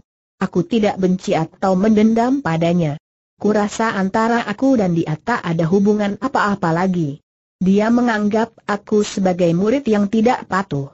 Murid durhaka, Cempaka menarik nafas dalam. Sebenarnya ada silang sengketa apa antara kau dengan nenek sakti bernama Wiku Ambar itu bertanya Wiro. Cempaka tak menjawab. Kalau kau tak mau menceritakan tak jadi apa. Ujar Wiro. Karena kau telah menolongku, aku bersedia memberitahu, berkata Cempaka pada akhirnya. Sewaktu aku masih kecil, mungkin pada usia lima tahun, Guru menjodohkan aku dengan putra seorang sahabatnya yang juga dari dunia persilatan. Orang itu bernama Ronggo Gampito dan putranya bernama Jatayu. Setahuku Ronggo Gampito adalah salah seorang tokoh silat istana. Tepat pada usiaku yang ke-20, guru memberitahu soal perjodohan itu. Tentu saja aku terkejut. Sebelumnya aku sudah beberapa kali bertemu dengan Jatayu. Dia tidak jelek.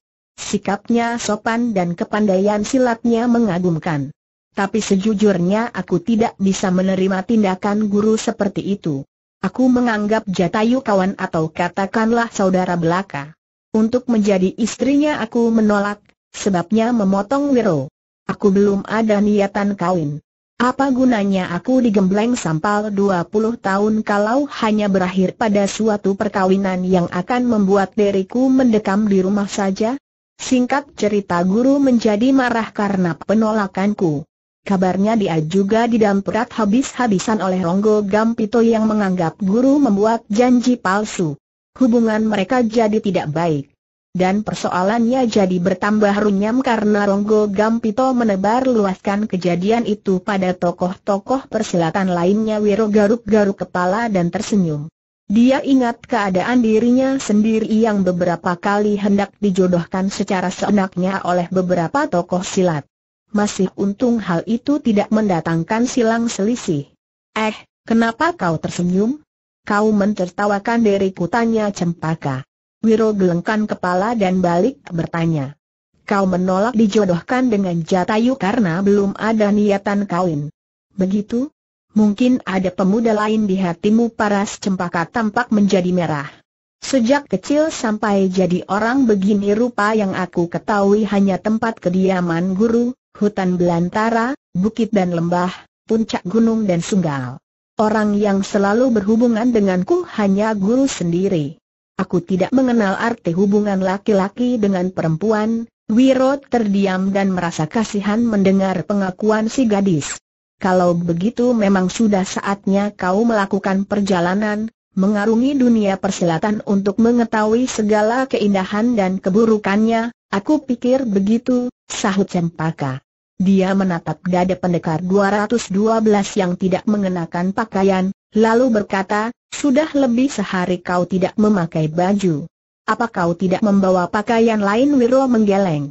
Kulit dada dan pertumu tampak luka lecet kau tidak berusaha mengobatinya, hanya lecet sedikit waktu turun dari pohon tinggi itu.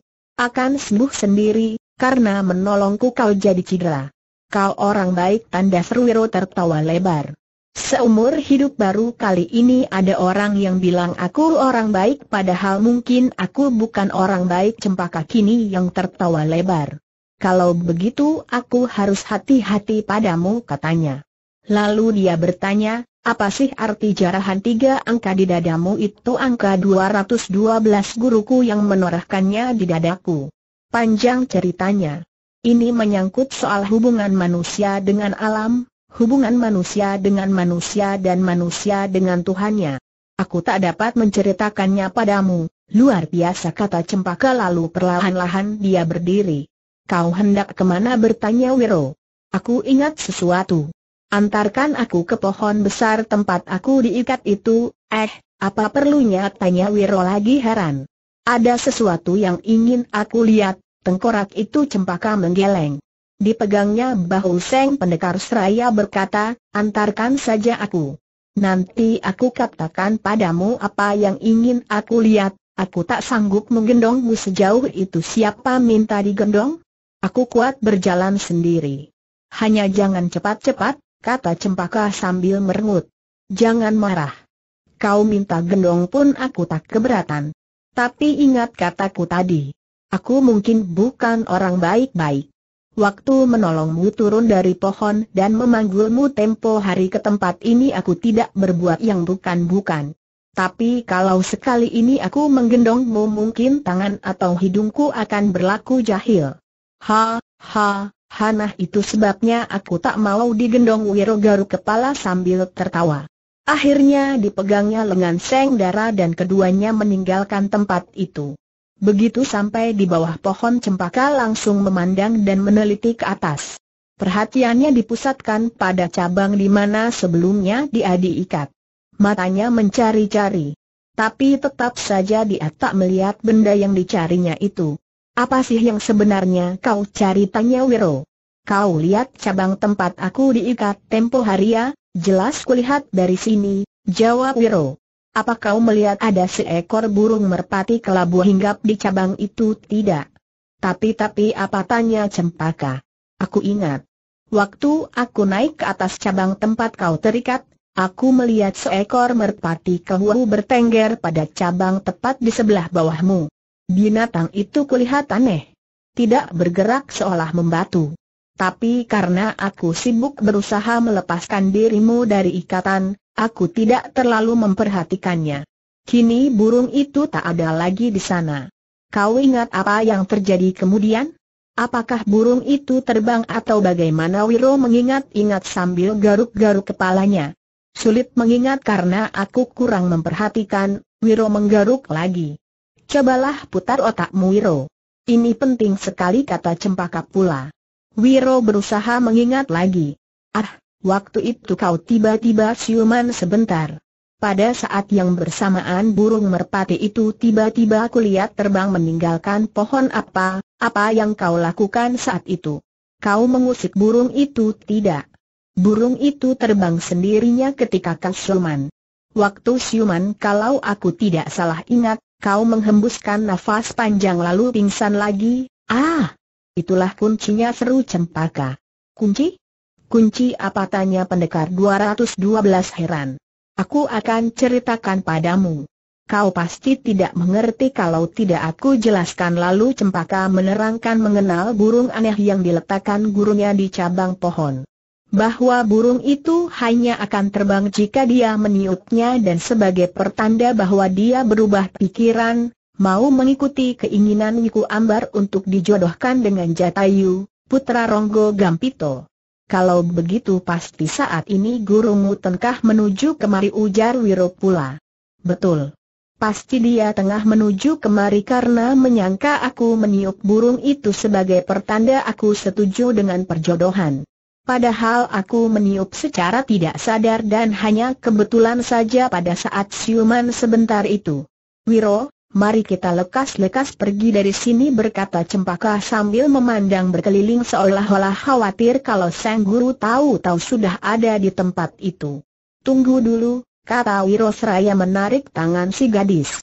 Eh, ada apa Wiro?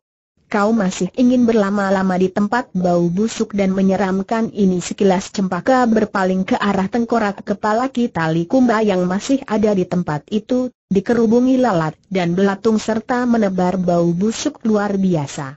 Apakah kau tidak berniat memberi sedikit pelajaran pada gurumu yang telah memperlakukanmu seenak perutnya itu sudah kubilang, aku tidak mendendam padanya maksudku bukan melakukan tindak kekerasan, Lalu tanda seru sudah.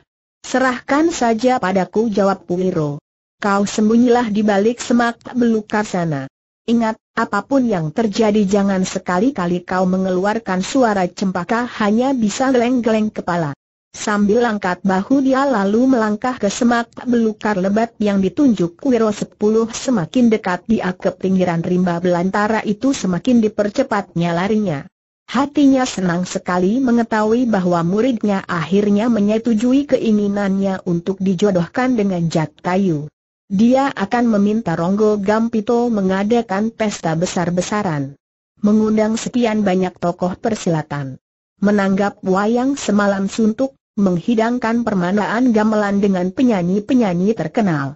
Lalu permainan silat di panggung terbuka tentunya. Ah, dia betul-betul gembira. Akan dipeluk dan diciumnya sang murid begitu dia menemuinya. Cempaka. Aku datang berseru Wiku Ambar ketika dia sampal di tikungan jalan di pinggir hutan. Di sini dia membelok ke kiri langsung masuk ke dalam hutan menuju pohon besar. Tapi hatinya serta-merta tercekat ketika hidungnya disambar bau busuk luar biasa. Sebagai orang yang sudah berpengalaman Wiku Ambar segera tahu kalau itu adalah busuknya bau bangkai manusia. Cempaka teriak si nenek lagi. Suaranya masih keras tapi lidahnya menjadi agak keluh tanda ada kekhawatiran merasuk dirinya. Wiku Ambar sampal ke dekat pohon besar dan tinggi itu. Kedua kakinya laksana dipantek ke tanah ketika matanya membentur sosok tengkorak kepala manusia yang tertanam di tanah, dikerubungi lalat dan belatung. Cempaka si nenek keluarkan suara berdesis. Lututnya goyah, wajahnya yang keriputan menjadi pucat. Cempaka muridku. Kau, Wiku Ambar mendengak ke atas sambil melangkah lebih dekat ku pohon besar. Dadanya lega ketika dia melihat masih ada sosok tubuh di atas cabang sana. Tapi, kedua mata si nenek ini membeliak. Muridnya mengenakan pakalan biru gelap. Sedang sosok tubuh yang kini ada di atas pohon mengenakan celana putih bertelanjang dada. Secepat kilat Wiku Ambar melompat dan memanjat ke atas pohon. Dia berteriak keras ketika mendapatkan orang yang terbaring menelungkup di atas pohon ternyata bukan cempaka. Melainkan seorang lelaki bertelanjang dada yang tubuhnya sebelah atas penuh kotor tertutup lumpur. Ke mana lenyapnya cempaka? Bagaimana mungkin ada orang sanggup memutus benang sutranya dan siapa pula keparat berambut gondrong yang mukanya tidak kelihatan ini? Kurang ajar. Siapa kau? Mana muridku cempaka teriak Wiku Ambar. Tangannya hendak menghantam. Tapi tiba-tiba sosok tubuh yang terbaring di atas cabang bergerak dan palingkan kepalanya. Si nenek melihat satu wajah yang penuh coreng-moreng dengan lumpur. Sepasang matanya membeliak berputar-putar terkadang hanya bagian putihnya saja yang kelihatan. Mulut terbuka lebar dipencong-pencongkan sedang lidah sesekali diulurkan panjang-panjang. Dari hidung yang dikerenyitkan keluar suara mendengus berulang kali. Hek, hek, tuyul peot dari mana yang berani-beranian naik ke tempat kediamanku tiba-tiba sosok yang terbaring di atas cabang itu keluarkan suara seperti orang menggigil. Wiku Ambar hendak mendamprat marah ketika mendengar dirinya disebut tuyul peot. Tapi otaknya cepat berpikir. Jangan-jangan sosok tubuh ini sebangsa makhluk jejadian. Lalu di mana muridnya Cempaka? Manusia atau setan? Lekas katakan siapa dirimu Wiku Ambar bertanya. Setan atau manusia? Kau yang duluan mengatakan siapa dirimu si rambut gondrong julurkan lidah, beliakan mat selalu keluarkan suara hek, hek, hek. Aku Wiku Ambar. Aku kemari mencari muridku bernama Cempaka muridmu itu apakah sekuntum bunga cempaka benaran, seorang lelaki, seorang perempuan atau banci. Hek hek. Bicara yang jelas jangan sampal ku cekik leher jeletmu lalu matu itu mendelik-delik kembali. Dari namanya saja jelas muridku itu perempuan jawab Wiku Ambar jengkel. Apakah muridmu itu seorang darah berpakaian biru gelap bertanya makhluk yang berbaring di atas pohon. Betul. Katakan di mana dia dan terangkan siapa dirimu. Muridku seharusnya berada di tempat kau berada saat ini Huek hek hek. Kau betul tuyul peot. Seharusnya gadis itu berada di tempat ini. Tapi kau terlambat, terlambat bagaimana maksudmu? Jangan berani mempermainkan aku siapa takut pada manusia rongsokan macammu balas membentak si rambut gondrong lalu julurkan lidahnya panjang-panjang. Kau lihat tengkorak manusia di bawah sana aku tidak buta sahut Wiku Ambar. Muridmu itu sudah dibawa oleh roh orang yang mampus di bawah sana. Dan roh itu berada dalam kekusaanku. Hihak hek tentu saja Wiku Ambar terkejut mendengar keterangan itu. Aku tidak percaya sentaknya tiba-tiba. Hek. Kalau tidak percaya silahkan tanya pada tengkorak busuk di bawah sana. Dan kau nenek jelek. Lekas turun dari sini. Jangan kotori tempat kediamanku dengan tubuhmu yang jelek dan bau itu aku tidak mau pergi sebelum aku tahu di mana muridku berada dan siapa kau ini sebenarnya tua bangka cerewet.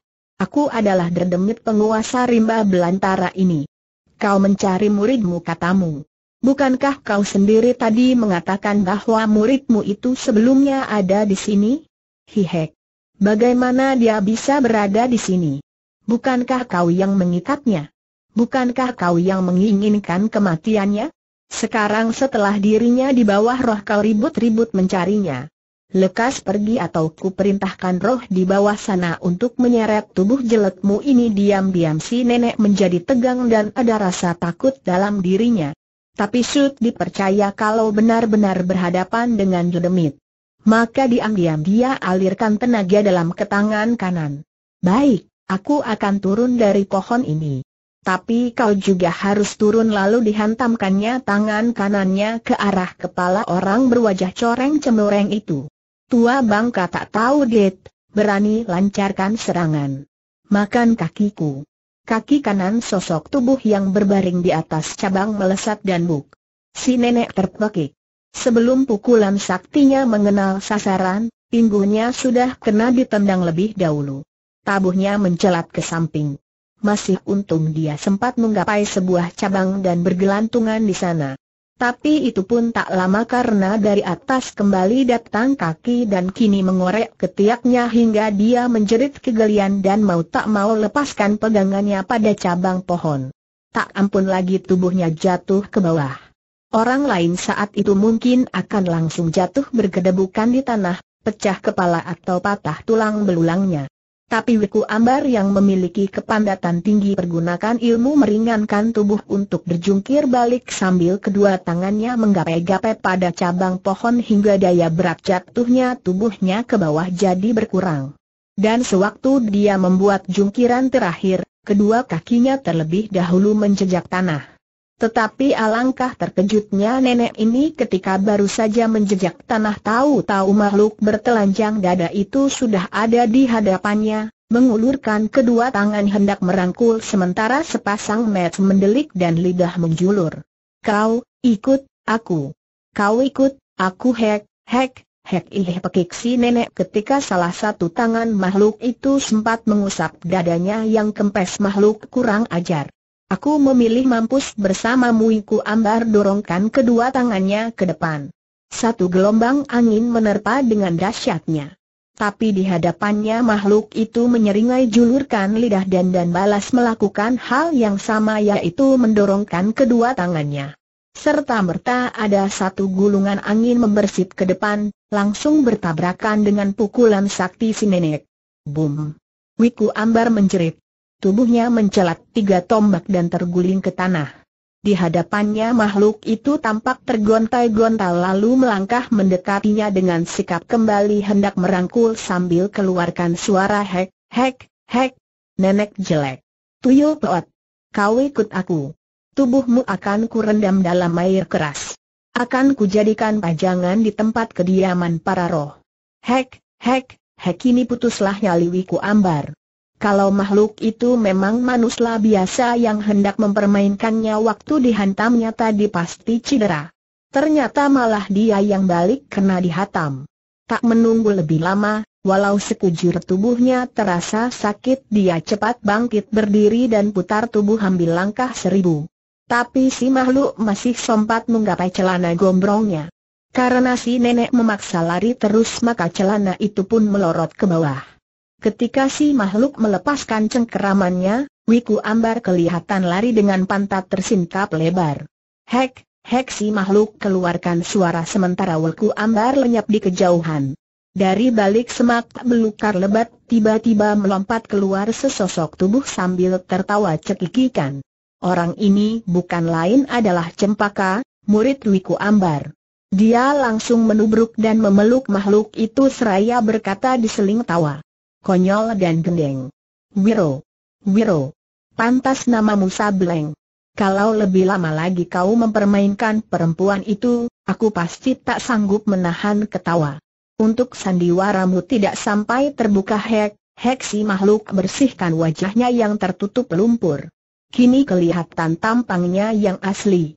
Ternyata dia bukan lain adalah murid Sinto Gendeng alias pendekar 212 Wiro Sableng 11 ketika udara mulai menggelap kedua orang yang tertawa terpingkal-pingkal itu baru menyadari bahwa hari segera akan malam.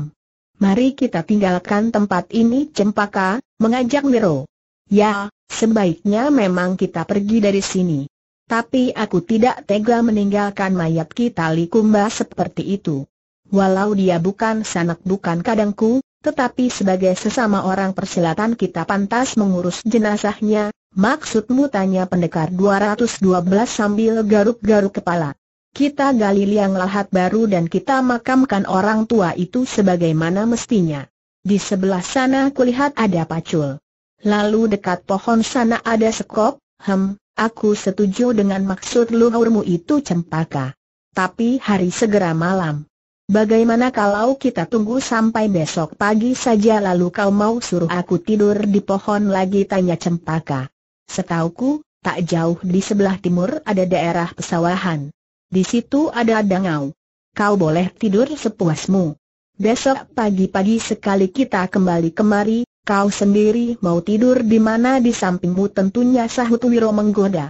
Cempaka mencibir lalu mendahului meninggalkan tempat itu sekarang mari kita ikuti perjalanan kali Mundu yang memutar tujuannya kembali menuju Kuto Gede untuk menemui kekasihnya yang tinggal di pusat kota. Memasuki ujung jalan yang menuju rumah kediaman kekasihnya, lapat-lapat kali Mundu mendengar suara alunan gamelan. Mendadak saja hatinya menjadi tidak enak. Di samping itu di kiri kanan jalan, setiap orang yang dipapasnya melontarkan pandangan aneh. Banyak di antara mereka yang serta-merta menutup hidung. Kali mundu sadar. Dia memandang pada luka di tangan kirinya. Luka bekas tabasan golok tiga iblis bergigi biru. Luka itu ternyata mulai membusuk dan menebar bau yang tidak sedap kutukan kita Likumba rupanya menjadi kenyataan. Semakin dekat ke tempat kediaman kekasihnya, semakin tidak enak perasaan Kali Mundu. Kemudian dilihatnya janur-janur serta umbul-umbul itu. Dan di kiri kanan jalan dilihatnya banyak orang berpakalan bagus. Kali Mundu mendekati seorang lelaki dan bertanya, Saudara, ada apa di tempat ini pakai umbul-umbul dan janur segala orang yang ditanya mengangkat kepalanya. Terkejutlah dia ketika melihat yang menanya adalah Kali Mundu. Serta merta orang itu balikan diri dan lari ke arah keramaian di ujung sana berteriak-teriak, Raden Kali Mundu datang. Raden Kali Mundu datang ternyata orang itu lari ke sebuah rumah yang tengah mengadakan perhelatan perkawinan dan yang saat itu tengah melangsungkan perkawinan adalah Sri Suminti, kekasih Kali Mundu sendiri. Begitu Kali Mundu muncul di tengah perjamuan dengan lukanya yang menebar bau busuk serta muka segarang setan, gegerlah tempat itu. Sri Suminti yang duduk di pelaminan terpekik lalu terhuyung seperti hendak pingsan. Ayahnya cepat membaca keadaan dan bergegas menemui Kai Mundu. Raden ah! Ternyata kau masih hidup. Menegur Sidomandu Kerto, ayah Suminti. Memangnya selapa bilang aku sudah mati tukas kali mundu heran tapi juga jadi marah. Raden. Sebulan sesudah ayahmu ditangkap tersiar kabar bahwa kau menemui kematian di satu tempat.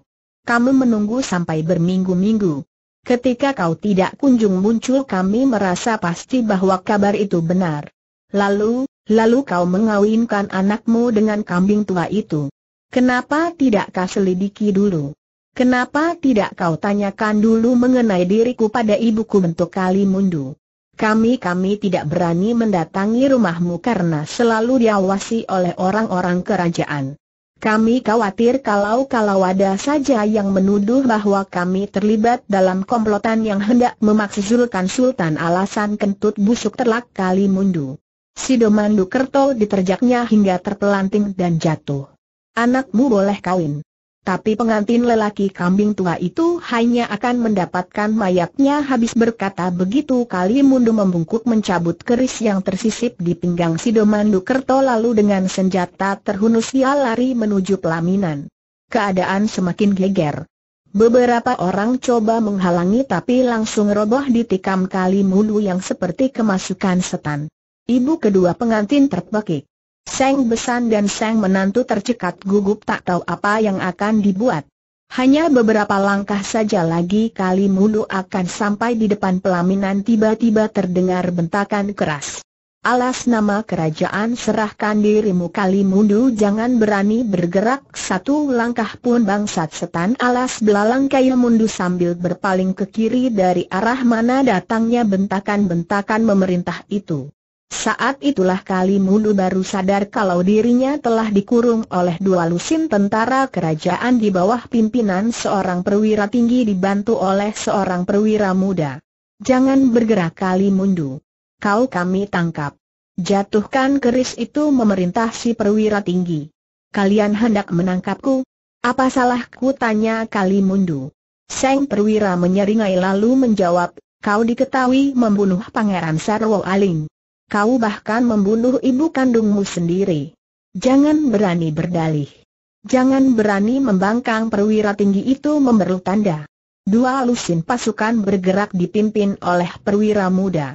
Kali mundu maklum kalau dia tak akan bisa blos darat kurungan orang sebanyak itu.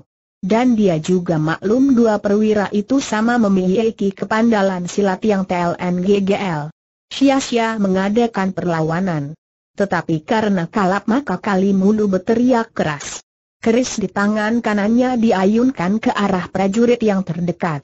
Prajurit ini menjerit begitu ujung keris menancap di perutnya tetapi di saat itu juga perwira tinggi dan perwira muda tadi sudah berkelebat. Dua hantaman melabrak kali mundu.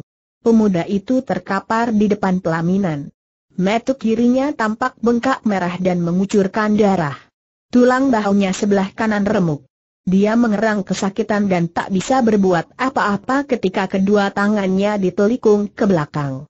Sebuah rantal besi diikatkan pada kedua tangannya itu. Tubuhnya kemudian diseret keluar di mana telah menunggu sebuah gerobak bangunan penjara itu terletak di ujung utara barak bala tentara kota raja. Seorang pengawal berbadan tinggi besar dan bertampang galak menyambut kedatangan dua prajurit dan perwira muda yang membawa kali mundu. Di depan pintu penjara rantal yang mengikat kedua tangan kail mundu dilepaskan. Atas perintah si perwira muda, pengawal membuka pintu lalu menjebloskan kali mundu dengan keras ke dalam penjara, hingga jatuh terjerembab di lantai batu yang kasar. Di dalam penjara berdinding batu itu hanya ada sebuah pelita minyak kecil sebagai penerang. Cahayanya tidak dapat menerangi seluruh ruangan. Karena itu kali mundu tidak sempat melihat sesosok tubuh yang mendekam di sudut kiri. Sebaliknya sosok tubuh itu bisa melihat munculnya kali mundu karena kedua matanya sudah terbiasa dengan kegelapan, hidungnya langsung mencium bau busuk luka di tangan kiri kali mundu. Sialan, manusia atau bangkaikah yang masuk ke tempat ini orang di sudut penjara menyumpah. Kali mundu tak melihat orangnya tapi dia mengenali betul suara itu. Eh, siapa yang bicara di sudut sana tegurnya? Sama denganmu. Sama-sama kerak penjara, menjawab yang ditanya. Kalimundu berdiri, memandang tajam-tajam ke sudut ruangan tapi tak sanggup menembus kegelapan. Maka diambilnya pelita di sudut ruangan. Benda ini dibawanya ke arah sosok tubuh yang mendekam dan didekatkannya ke wajah orang itu. Astaga! Wajah itu penuh lumuran darah dan benjat-benjut bekas pukulan. Tapi walau bagaimanapun Kali Mundu tetapi mengenalinya. Orang itu adalah ayahnya sendiri. Tumenggung Suro Bledek. Ayah seru Kali Mundu. Orang yang duduk mendekam tersentak kaget dan bangkit berdiri. Kali Mundu. Anakku Kali Mundu letakkan pelita di lantai lalu memeluk ayahnya. Anakku. Apa yang terjadi dengan dirimu? Mengapa mereka menjebloskan kau kemari dan sengaja memilih ruangan yang sama denganku? Ah, metu kirimu cidra berat aku tak tahu ayah, aku tak tahu, jawab kali mulu berdusta. Ku dengar ayah ditangkap karena tuduhan berkompiot hendak menggulingkan sultan, fitnah. Itu fitnah busuk belaka, anakku. Ada orang-orang yang iri terhadap kekayaan yang kumiliki. Mereka lalu mengarang cerita. Dan Sultan celaka serta para pengikutnya itu percaya saja semua fitnah itu. Aku dijebloskan kemari. Dipukul, ditendang bangsat.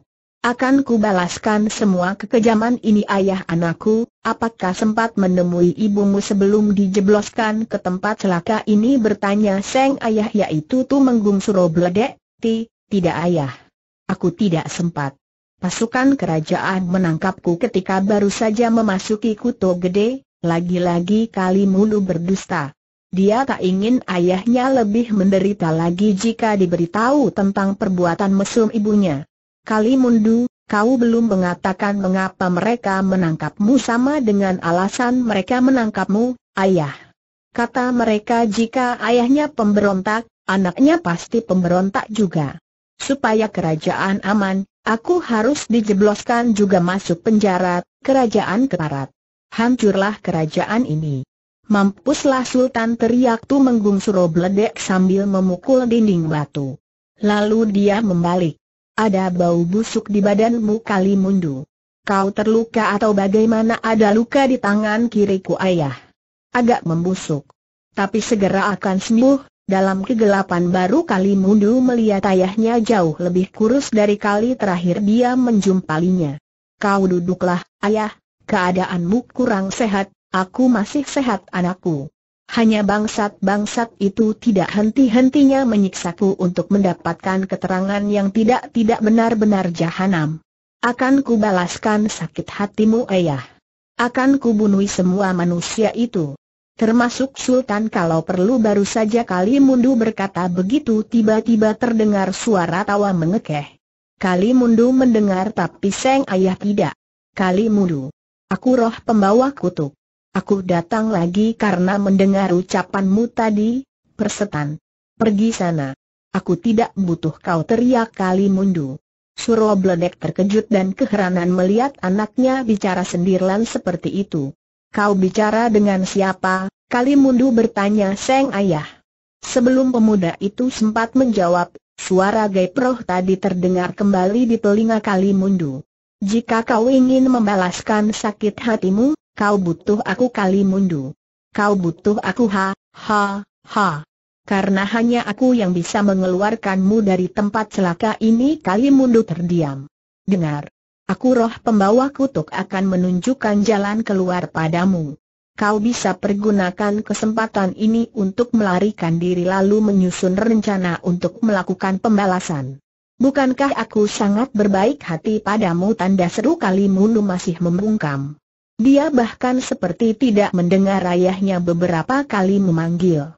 Tiba-tiba telinganya menangkap suara menderu dahsyat lalu hampir tak percaya tembok di hadapannya tiba-tiba jebol dan kini kelihatan sebuah lubang sepemasukan tubuh manusia di tembok batu itu. Kalau kali mundu terheran-heran tak percaya, ayahnya tak kalah kejutnya. Kedua orang ini lari menuju ke lubang.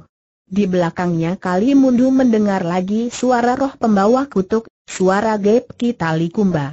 Apa yang kau tunggu lagi Kali Mundu? Larilah. Kaburlah. Ha, ha, ha. Bukan main. Aku roh pembawa kutuk sangat berbaik hati menolongmu Kali Mundu memaki dalam hati. Tapi memang kesempatan ini tidak boleh disia-siakannya. Dia memberi isyarat pada ayahnya. Suro Bledek mengganggu. Kau duluan, aku menyusul, hati-hati. Begitu keluar lekas lari ke kiri. Kau akan menemui sebuah kandang kuda. Ambil kuda paling besar dan kaburlah. Aku menyusul, kali mundu cepat meloloskan dirinya dari dalam lubang besar di dinding. Di luar ternyata hari mulai gelap tanda malam akan segera tiba. Ini sangat menolong baginya. Sesuai petunjuk ayahnya begitu keluar dari lubang kali mundu berkelebat ke kiri. Lari sejauh seratus langkah dia menemukan sebuah kandang kuda berisi enam ekor kuda. Kali mundu memilih yang diperkirakannya paling kuat. Cepat ditungganginya lalu sesaat dia menunggu sampai ayahnya muncul. Dari kandang kuda dia dapat melihat ayahnya keluar dari lubang di dinding penjara. Ketika orang tua ini hendak lari ke jurusan kiri tiba-tiba terdengar suara kentongan bertalu-talu. Bersamaan dengan itu para pengawal penjara bermunculan dari mana-mana. Hanya manusia yang ingin cepat mampus berani melarikan diri dari penjara kerajaan satu suara membentak. Lalu berkelebat satu bayangan tinggi besar. Ternyata dia adalah si perwira tinggi yang bertindak sebagai pimpinan pasukan sewaktu menangkap Kali Mundu di tempat perkawinan Sri Suminti. Perwira tinggi itu angkat tangannya memberi isyarat. Sembilan pengawal bersenjata golok menyerbu. Melihat hal ini Kali Mundu segera menggebrak kuda yang ditungganginya. Dia sengaja melarikan binatang itu ke tengah-tengah kalangan perkelahian. Akibatnya tiga pengawal yang kena terjangan mencelat berpelantingan. Sewaktu Kali Mundu hendak berbalik untuk menabraki lagi para pengawal itu, si ayah berteriak. Lari! Lekas lari! Jangan pedulikan diriku! Selamatkan dirimu pada saat itu kali mundu benar-benar tidak takut mati. Tapi justru mendengar ucapan ayahnya itu hatinya jadi mendua. Apalagi saat itu dilihatnya semakin banyak para pengawal yang datang. Tak ada jalan lain. Dia harus merelakan meninggalkan ayahnya. Kali mundu segera memutar kuda dan tinggalkan tempat itu dengan cepat. Seseorang memberi perintah agar mencari kuda dan melakukan pengejaran. Kali mundu lenyap di kegelapan malam. Di belakangnya ayahnya, Suro Bledek, yang sadar tak akan dibiarkan hidup berusaha mempertahankan diri. Tapi apalah kekuatan dua tangan kosong menghadapi sekian banyak lawan dan senjata. Apalagi Suro Bledek memang tidak membekal ilmu silat apa pun, juga kesaktian.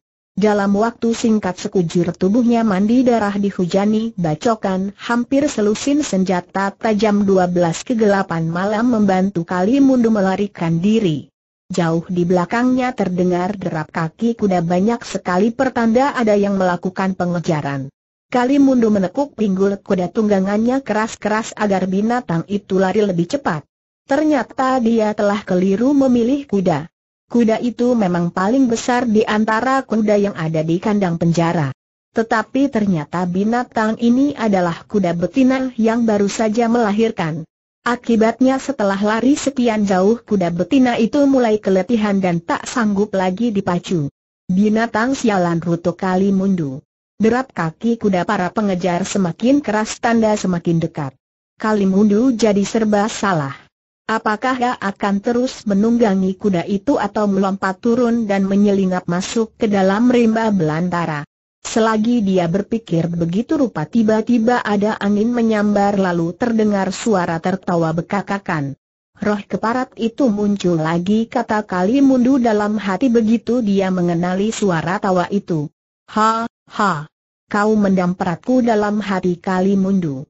Padahal barusan saja kau kutolong lolos dari penjara terdengar suara roh pembawa kutuk. Kau yang memberi pertolongan. Aku tidak meminta. Sekarang jangan ganggu aku lagi. Pergi sana Hardi kali mundu. Seng roh kembali tertawa bergelak. Sudah kukatakan ke mana kau pergi aku akan mengikutimu. Sampai akhirnya kau mendapatkan kematianmu. Ha, ha, ha, kalau begitu mengapa tidak kau bunuh saja aku saat ini membunuhmu saat ini? Tidak, tidak kali mundu. Aku ingin berpuas-puas melihat kau tersiksa lebih dahulu. Apa kau tidak tahu bahwa saat ini kau sudah jadi seorang manusia yatim piatu? Ha, ha, ha, ha ibumu mati di tanganmu. Kau jadi anak piatu. Barusan ayahmu dicincang sampai mati oleh para pengawal penjara. Apa itu bukan berarti kau sekarang jadi anak yatim piatu? Ha, ha, ha saking kagetnya kali mundu hentikan kuda. Suara tertawa roh pembawa kutuk lenyap dan kali mundu baru sadar ketika suara derap kaki kuda para pengejar terdengar menggemuruh semakin dekat. Cepat-cepat pemuda ini menggebrak kudanya. Binatang itu menghambur lari, tapi tak sanggup berlari secepat yang dikehendaki kali mundu. Dalam waktu beberapa saat lagi dia pasti terkejar dan ditangkap. Dalam keadaan seperti itulah tiba-tiba dari samping memotong seekor kuda ditunggangi seorang lelaki kurus jangkung. Orang ini segera memepet kuda kali mundu. Untuk beberapa saat lamanya dua ekor kuda itu lari berdampingan. Kuda bertina kali mundu meringkik berulang kali. Terpaksa kali mundu perlambat lari kudanya dan berpaling pada orang di sebelahnya. yang diperhatikan balas berpaling dan menyeringai. Meskipun gelap tapi jelas kelihatan barisan gigi-giginya yang berwarna biru. Ternyata dia adalah salah seorang dari tiga iblis bergigi biru yang memang sejak beberapa hari ini terus-menerus menguntit Kali Mundu. Bangsat kau muncul lagi. Apa urusanmu bentak Kali Mundu? Dendam kesumatnya serta merta berkobar. Jangan bicara kurang ajar begitu Kali Mundu balas membentak si gigi biru. Namanya Sembung Sengkolo. Nyawamu terancam. Sebentar lagi pasukan kerajaan akan berhasil mengejarmu. Lalu menangkapmu dan mengeksamu sampai mampus. Apa kau tidak takut? Aku memang tidak takut sembung sengkolo tertawa lebar. Bagus kalau kau memang tidak takut. Tapi kalau kau bicara dusta, ketahuilah, saat ini hanya aku yang bisa menolongmu habis berkata begitu salah seorang dari tiga iblis bergigi biru itu gerakan kudanya ke kanan seolah-olah hendak meninggalkan Kali Mundu. Hai! Tunggu dulu seru Kali Mundu. Apa yang ada di benakmu hem? Ternyata kau takut mati juga ujar Semiung Sengkolo. Katakan cepat apa maumu Kali Mundu jadi jengkel karena bukan saja merasa dipermainkan tapi juga seperti dianggap hina. Aku akan menolongmu dari kejaran orang-orang kerajaan. Tapi ada syaratnya katakanlah apa syaratmu berikan kitab ilmu silat empat penjuru angin itu padaku keparat. Sudah ku bilang aku tidak tahu. Saat itu para pengejar telah berada semakin dekat. Salah seorang di antara mereka terdengar berteriak, kali mundu ada di depan sana. Percepat lari kuda kalian. Tangkap dia hidup-hidup. Jika melawan cincang saja seperti ayahnya bagaimana tanda seru? Kau tetap keras kepala sembung sengkolo menyeringai. Karena kepepet akhirnya kali mundu berdusta. Baik akan kukatakan padamu di mana kitab itu disembunyikan mendiang guruku.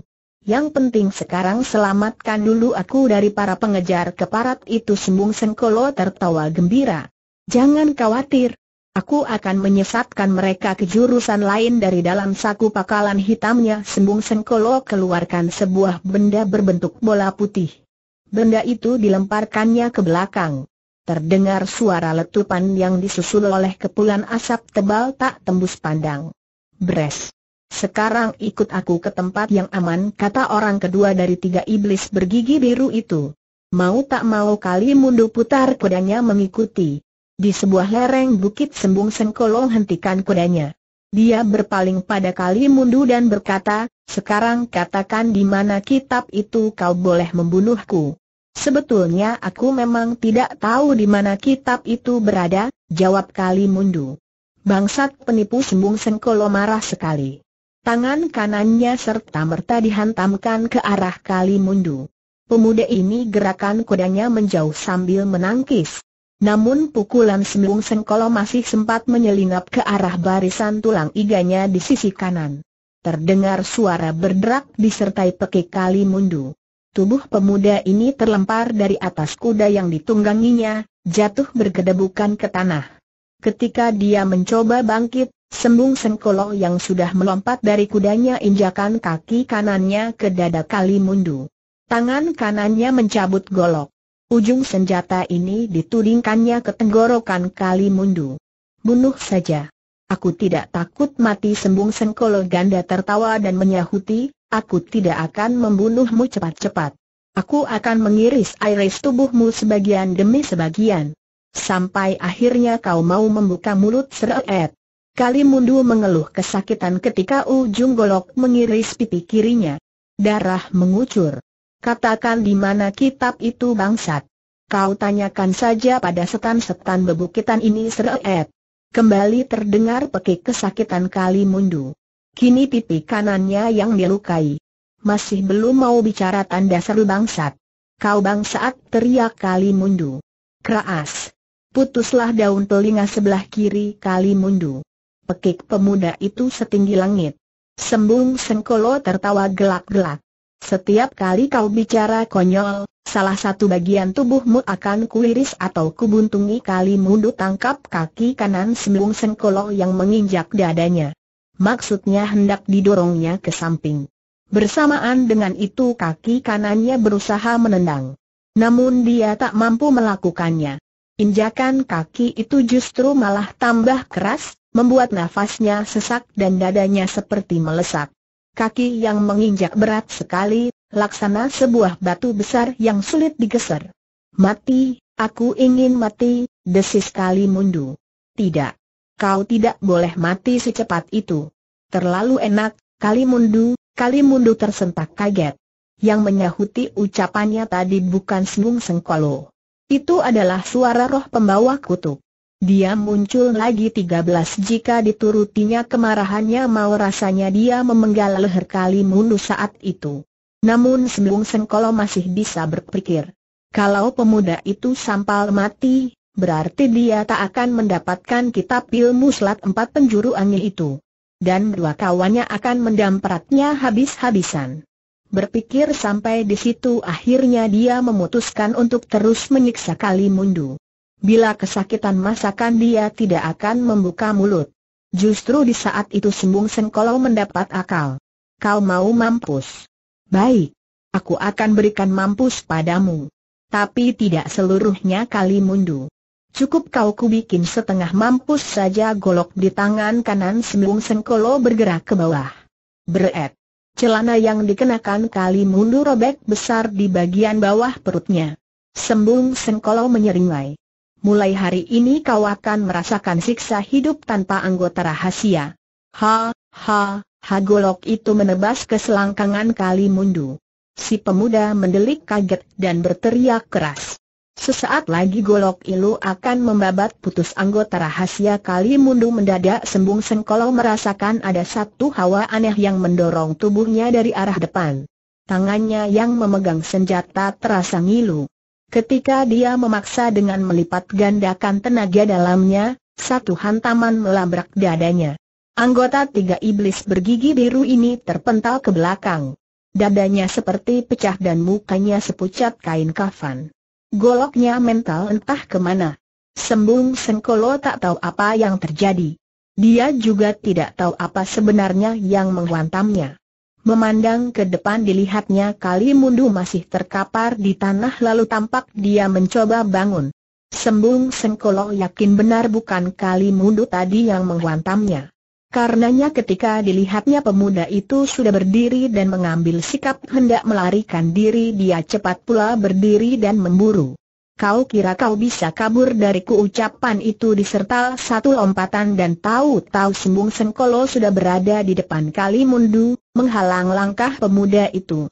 Dengan kalap Kali Mundu kirimkan satu jotosan ke arah lawan pemuda ini keluarkan jurus-jurus terhebat dari ilmu silat yang telah dipelajarinya dari Kitali Kumbaya itu yang diwarisi dari kitab ilmu silat empat penjuru angin. Dalam keadaan tidak bersenjata ternyata Sembung Sengkolo tidak seberbahaya kalau dia memegang golok. Dua jurus berlaku dengan cepat. Kelihatannya Kali Mulu berada di atas angin.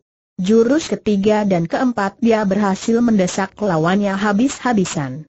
Memasuki jurus kelima tiba-tiba dia merasakan seperti ada yang membimbing gerakan kedua tangannya. Dan buk. Tinju kiri kali mulu bersarang di pipi kanan Sembung Sengkolo. Anggota komplotan tiga iblis bergigi biru ini mengeluh kesakitan. Sebaliknya kali mundu juga berteriak keras ketika tangannya yang luka dan busuk itu menghantam keras muka lawan. Sakitnya luka yang busuk itu bukan alang kepalang. Sembung Sengkolo yang kecipratan darah busuk, selain kesakitan juga merasa jijik. Orang ini menyumpah panjang pendek. Sambil meludah jijik dan seka mukanya dengan ujung baju. Sembung Sengkolo bergerak mendekati Kali Mundu. Entah dari mana diambilnya tahu-tahu di tangan kanannya saat itu sudah tergenggam sebilah pisau bermata dua. Salah satu mata pisau ini berbentuk gerigi seperti gergaji. Dia menghampiri lebih dekat lalu dengan kecepatan luar biasa disabetkannya pisau itu ke arah perut Kali Mundu. Beret. Baju yang dikenakan Kali Mundu robek besar tapi tubuhnya selamat dari sambaran pisau. Justru saat itu di hadapannya terdengar suara duk, duk berulang kali dan sembung sengkolo kelihatan terpental kian kemari sambil menjerit-jerit pegangi pinggul, perut serta dada. Apa yang terjadi? Ada kaki yang tak terlihat oleh mati menendangnya bertubi-tubi hingga akhirnya orang ini terkapar di tanah, kesakitan setengah mati. Sekujur tubuhnya serasa remuk. Kali Mundu meskipun heran merasa tidak perlu mencari tahu apa yang terjadi atas diri Sembung Sengkolo. Melihat orang itu terkapar dalam keadaan tak berdaya dia segera melompat nal ke atas punggung kuda milik Sembung Sengkolo. Bangsat! Kau mau lari ke mana terlak sembung sengkolo? Lalu dia loloskan gelang bahar besar yang ada di lengan kirinya. Gelang ini sebenarnya adalah juga merupakan salah satu senjata rahasia komplotan tiga iblis bergigi biru. Sebelum dilempar gelang itu diisinya dulu dengan tenaga dalam. Ketika dilomparkan ke arah kepala kali mundu gelang itu keluarkan suara menderu dan membersihkan cahaya hitam. Jangankan kepala manusia, batu pun bisa pecah berantakan terkena hantamannya. Tapi lagi-lagi ada kekuatan aneh yang menghantam berlawanan arah dengan meluncurnya gelang bahar itu hingga benda ini terpental dan jatuh entah di mana dalam kegelapan malam. Kalimundu memacu kuda milik sembung sengkolo sekencang-kencangnya. Dalam melarikan diri dia tidak lagi memperhatikan arah mana yang ditujunya. Sementara itu Sembung Sengkolo yang tengah berusaha bangkit berdiri menjadi kaget ketika dapatkan dirinya tahu-tahu telah dikurung oleh pasukan berkuda berjumlah lebih dari 20 orang. Dua orang perwira melompat turun dan mendatanginya. Di lain arah dia sempat pula melihat dua orang tokoh silat istana ikut dalam rombongan itu. Lain yang dikejar lain yang didapat salah seorang perwira kerajaan berseru ketika melihat siapa adanya orang berbaju hitam yang tengah berusaha bangkit dengan susah payah. Salah seorang tokoh silat berkata lantang dari atas kudanya. Beberapa waktu yang lalu dia bersama dua kamratnya membunuh habis pasukan kita. Tunggu apa lagi? Bereskan dia sekarang juga tahan dulu teriak sembung sengkolo. Bukankah kalian tengah mengejar Kali Mundu, putra Tumenggung Suro Bledekhem? Bagaimana kau bisa tahu? Balas bertanya tokoh silat kedua? Jangan-jangan kau ikut berkomplot dengan pemuda itu. Aku bersedia membuat perjanjian berkata Semiung Sengkolo. Dia sudah melihat tak berakal bisa lops dari tempat itu. Karena itu kini dia pergunakan kecerdikan akal Perjanjian apa yang hendak kau buat? Tanya perwira kerajaan yang berada di depan Sembung Sengkolo. Aku akan tunjukkan ke mana larinya Kali Mundu. Untuk itu kalian biarkan aku meninggalkan tempat ini dengan aman Seng perwira hendak mendamprat tapi tokoh silat pertama angkat tangannya dan berkata, baik. Perjanjian disetujui. Katakan kejurusan mana larinya Kali Mundu Sembung Sengkolo menunjuk ke barat, ke arah lenyapnya Kali Mundu. Dia baru ke jurusan sana katanya. Bagus. Kau bebas dan boleh pergi ujar tokoh silat pertama. Begitu sembung sengkolo memutar tubuh dia memberi isyarat pada perwira yang ada di sebelah kiri. Perwira ini cepat menyambar tombak salah seorang prajurit lalu senjata ini dilemparkannya ke arah punggung sembung sengkolo. Bangsat pengecut. Curang terlak sembung sengkolo telinganya telah lebih dahulu menangkap suara bersiurnya tombak yang dilemparkan. Secepat kilat dia bergerak ke kiri lalu membalik. Begitu tombak lewat di sampingnya segera ditangkapnya. Lalu dengan senjata itu di tangan dia mengamuk penuh kemarahan. Dua kali tombak itu dikemplangkannya. Dua kali terdengar suara jerit prajurit yang kena hantam. Keduanya langsung jatuh dari atas kuda. Satu patah lehernya, satu lagi pecah kepalanya kena kemplangan tapi tombak di tangan Sembung Sengkolo sendiri patah dua. Dengan patahan tombak di tangan orang kedua dari tiga iblis bergigi biru itu lanjutkan amukannya. Korban ketiga terguling dengan perut bobol. Sewaktu Sembung Sengkolo hendak mengambil korban keempat, tokoh silat istana yang tadi memberi isyarat untuk membunuh Sembung Sengkolo serta merta melompat dari atas kudanya. Sambil melompat dia lepaskan satu pukulan tangan kiri dan mengandung tenaga dalam tinggi. Sembung sengkolo kertakan rahang, berkelit ke kiri lalu lemparkan patahan tombak yang masih dipegangnya ke arah tokoh silat itu. Yang diserang menangkis dengan lengan kanan. Tombak dan lengan beradu. Tombak mental patah dua sedang sang tokoh silat menyeringai sambil tegak berkacak pinggang. Keparat sentak Sembung Sengkolo. Kalau kau berani berkelahi satu lawan satu, aku bersumpah mengadu nyawa denganmu apa kemauanmu aku turuti. Malam ini nyawamu akan kukirim ke akhirat sebagai pembalas kematian seorang prajurit yang pernah kau bunuh bersama dua kawanmu. Dan prajurit itu adalah anakku sendiri tokoh silat istana itu salurkan seluruh tenaga dalamnya ke tangan kanan. Lalu dia membuka gebrakan pertama dengan satu tendangan. Pukulan tangan kanan sengaja tidak langsung dilaksanakan karena dia ingin melampiaskan sakit hati dendam kesumatnya. Melihat lawan menendang, sembung sengkolo melompat. Tangan kanannya menderu ke arah batok kepala lawan. Yang hendak dikemplang batok kepalanya segera pergunakan tangan kanan untuk menangkis. Sembung Sengkolo telah menyaksikan kehebatan tangan lawan tak berani saling bentrokan tangan. Sambil turun kini dia ganti melancarkan tendangan. Lima jurus berlalu dengan cepat. Namun saat itu keadaan Sembung Sengkolo sudah banyak cederanya, terutama ketika tadi dia mendapat hantaman pukulan dan tendangan makhluk yang tidak kelihatan, yang telah membantu Kali Mundu secara aneh.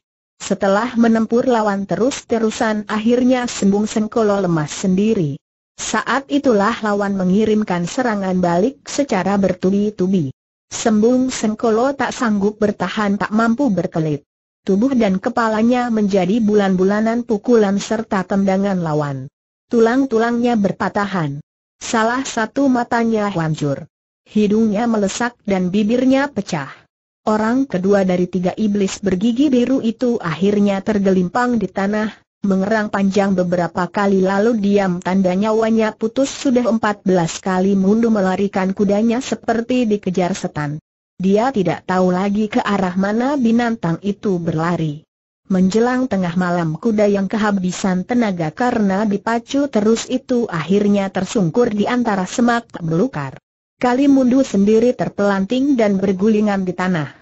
Masih untung tubuh atau kepalanya tidak sempat menghantam batang-batang pohon yang banyak bertumbuhan di tempat itu. Hidungnya mencium bau busuk. Dan itu bukan bau busuk luka di tangan kirinya. Namun dia tak lagi memperdulikan keadaan di sekitarnya. Sekujur tubuhnya terasa sakit seperti dirajam. Luka di tangan mendenyut sakit tiada henti antara sadar dan tiada kali mundur terhampar di tanah. Pada saat itulah dia mendengar suara tawa bergelak. Roh pembawa kutuk. Suara tanpa rupa itu muncul kembali. Kali mundu. Aku datang lagi. Aku puas berhasil menyelamatkanmu dari tangan Sung Sengkolo. Beberapa saat lagi pagi akan datang.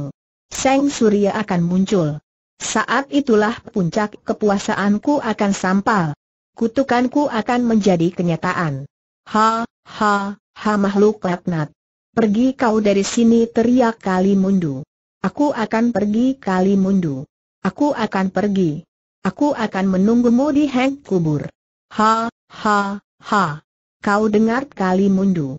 Aku akan menunggumu di hang kubur. Ha, ha, ha, kali mundu kumpulkan seluruh sisa tenaganya yang ada. Dia memukul ke sana kemari.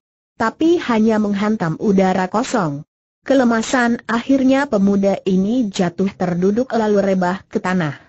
Kali mundu tidak tahu pasti berapa lama dia terkapar di pinggiran rimba belantara itu, juga tidak tahu apakah sebelumnya dia telah tertidur atau berada dalam keadaan pingsan di tempat itu.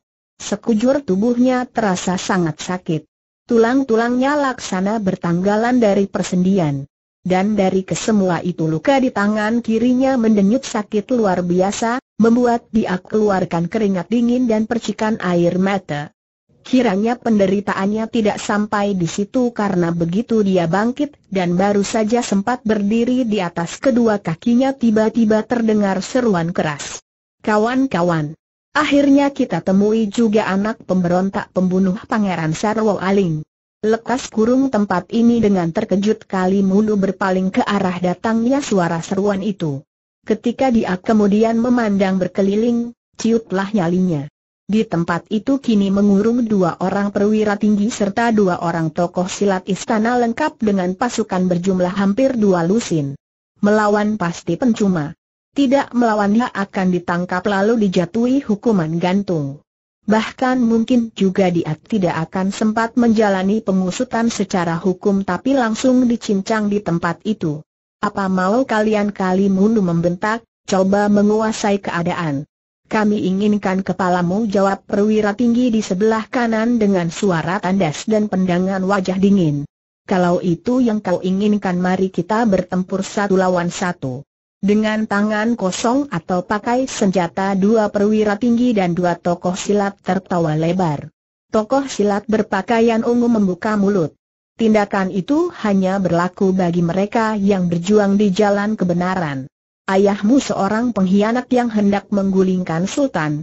Kau pasti bangsa anjing pemberontak juga.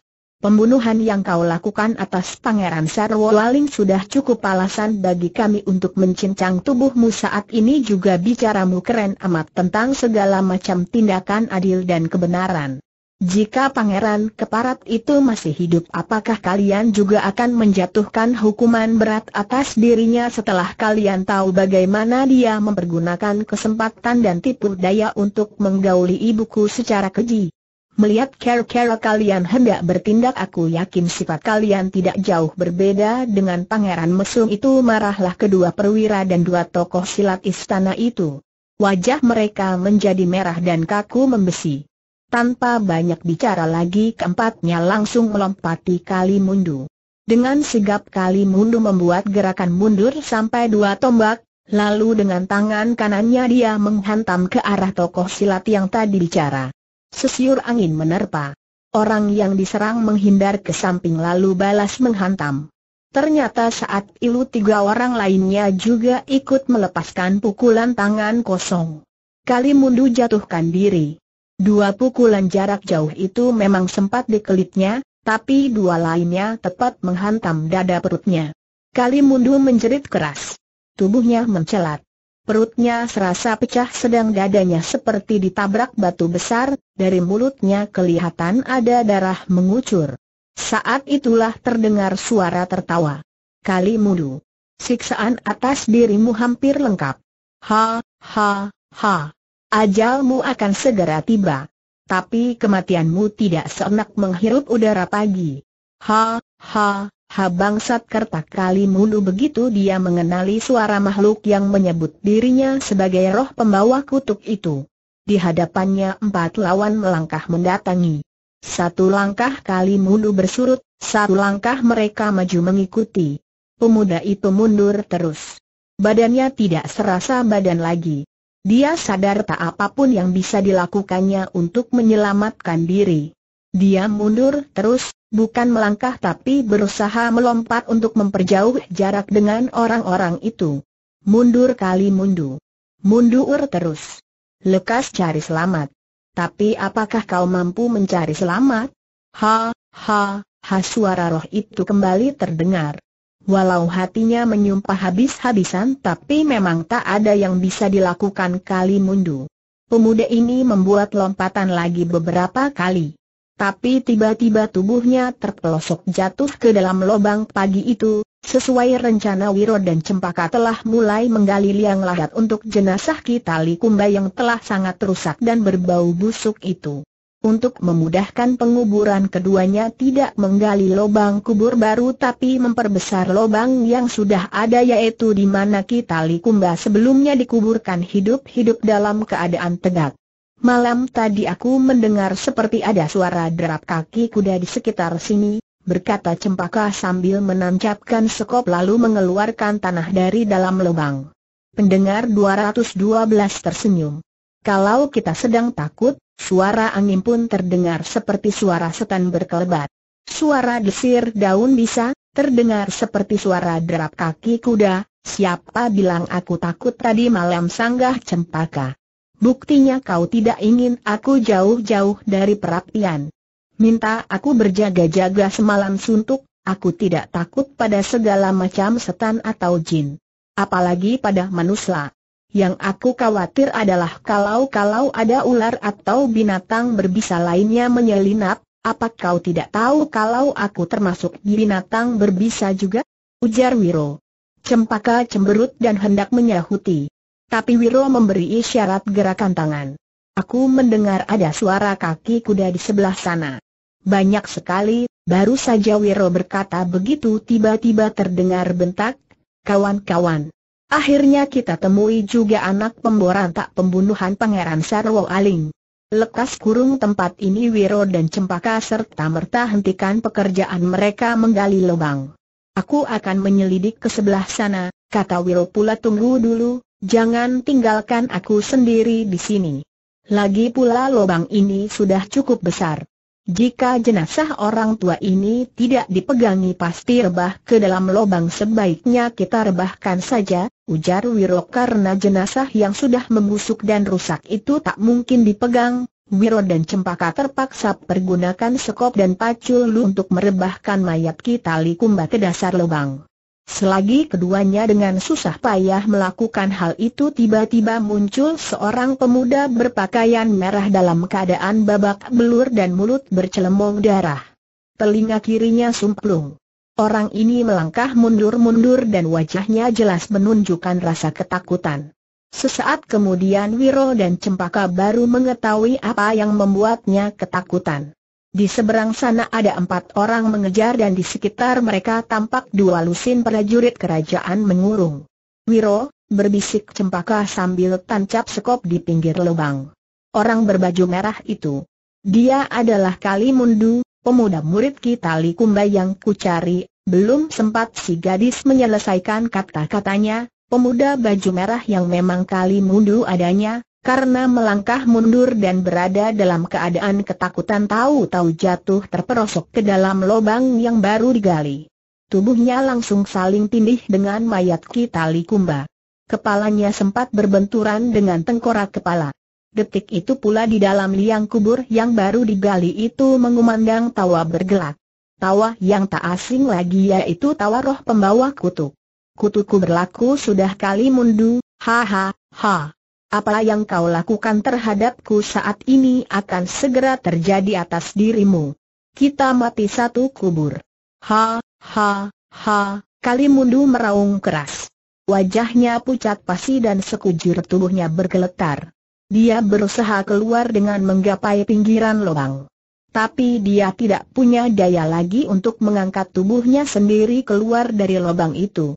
Dan di saat itu pula salah seorang perwira tinggi yang tegak di tepi lubang beriak berikan perintah. Timbunkan tanah ke dalam lubang. Kubur pemberontak dan pembunuh ini hidup-hidup tobat. Ampun. Tolong, teriak kali mundu. Bunuh.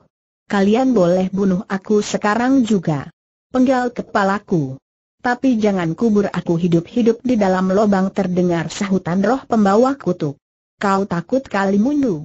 Jangan takut. Aku menemanimu di liang kubur ini. Ha, ha, ha dua orang prajurit melompat turun dari kuda. Yang satu mencabut sekop yang ditancapkan cempaka di tanah. Satunya lagi mengambil pacul dari tangan pendekar 212 Wiro Sableng. Keduanya langsung menimbulkan tanah ke dalam lubang tanpa memperdulikan jeritan kali mundu. Lalu ada beberapa prajurit lagi yang membantu dengan mempergunakan kaki mereka ikut mengurukan tanah ke dalam lubang. Cempaka dan Wiro hanya bisa tegak tertegun menyaksikan apa yang terjadi. Dalam waktu singkat tanah merah sudah ditimbulkan ke dalam lubang. Sekujur tubuh Kali Mundu sampai sebatas leher tenggelam dalam tanah, hanya kepalanya saja yang tinggal tersembul.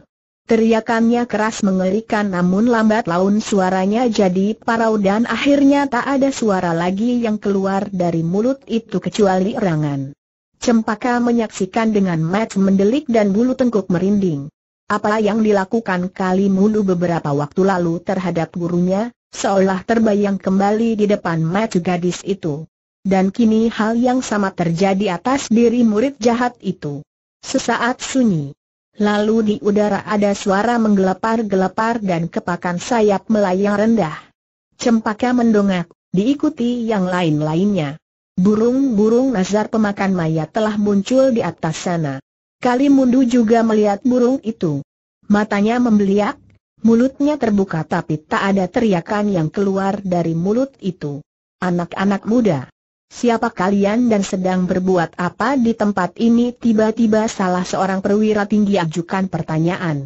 Cempaka tampak gugup.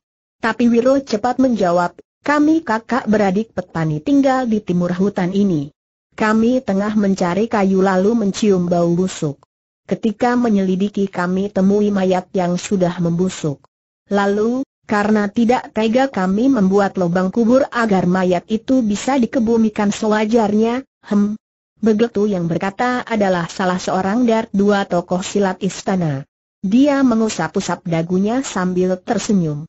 Sepasang matanya yang tajam tiba-tiba melihat retan angka 212 yang tertera di dada Wiro dan agak tertutup oleh coreng cemureng tanah liat. Cepat-cepat tokoh silat ini turun dari kudanya dan menjura dalam-dalam di hadapan Wiro. Tentu saja hal ini membuat heran semua orang termasuk Cempaka. Sehabis menjura orang itu berkata, mohon maafmu pendekar besar. Mataku yang tua tidak mengenali gunung Merapi di depan hidung, orang itu menjura sekali lagi lalu memberi isyarat pada rombongannya untuk meninggalkan tempat itu. Setelah berlalu sekitar seratus tombak, salah seorang perwira tinggi bertanya pada si tokoh silat. Kau menyebut pemuda gondrong itu dengan panggilan pendekar besar. Siapakah dia sebenarnya yang ditanya menghelas nafas panjang baru menjawab, dia adalah pendekar kapak maut naga gen 212. Beberapa tahun yang silam dia berkali-kali membantu kerajaan ketika berada dalam bahaya, terkejutlah semua orang mendengar keterangan itu. Dua perwira tinggi saling berpandangan. Yang seorang berkata, kalau itu memang pendekar 212 Wiro Sableng, kita berkewajiban mengundangnya ke istana lalu diikuti oleh temannya dia kembali ke tempat di mana mereka meninggalkan Cempaka dan Wiro. Tapi ketika sampai di tempat itu, sepasang muda-mudi tersebut tak lagi di situ. Yang ada belasan burung nazar berebut cepat mematoki kepala Kalimundu. Tamat.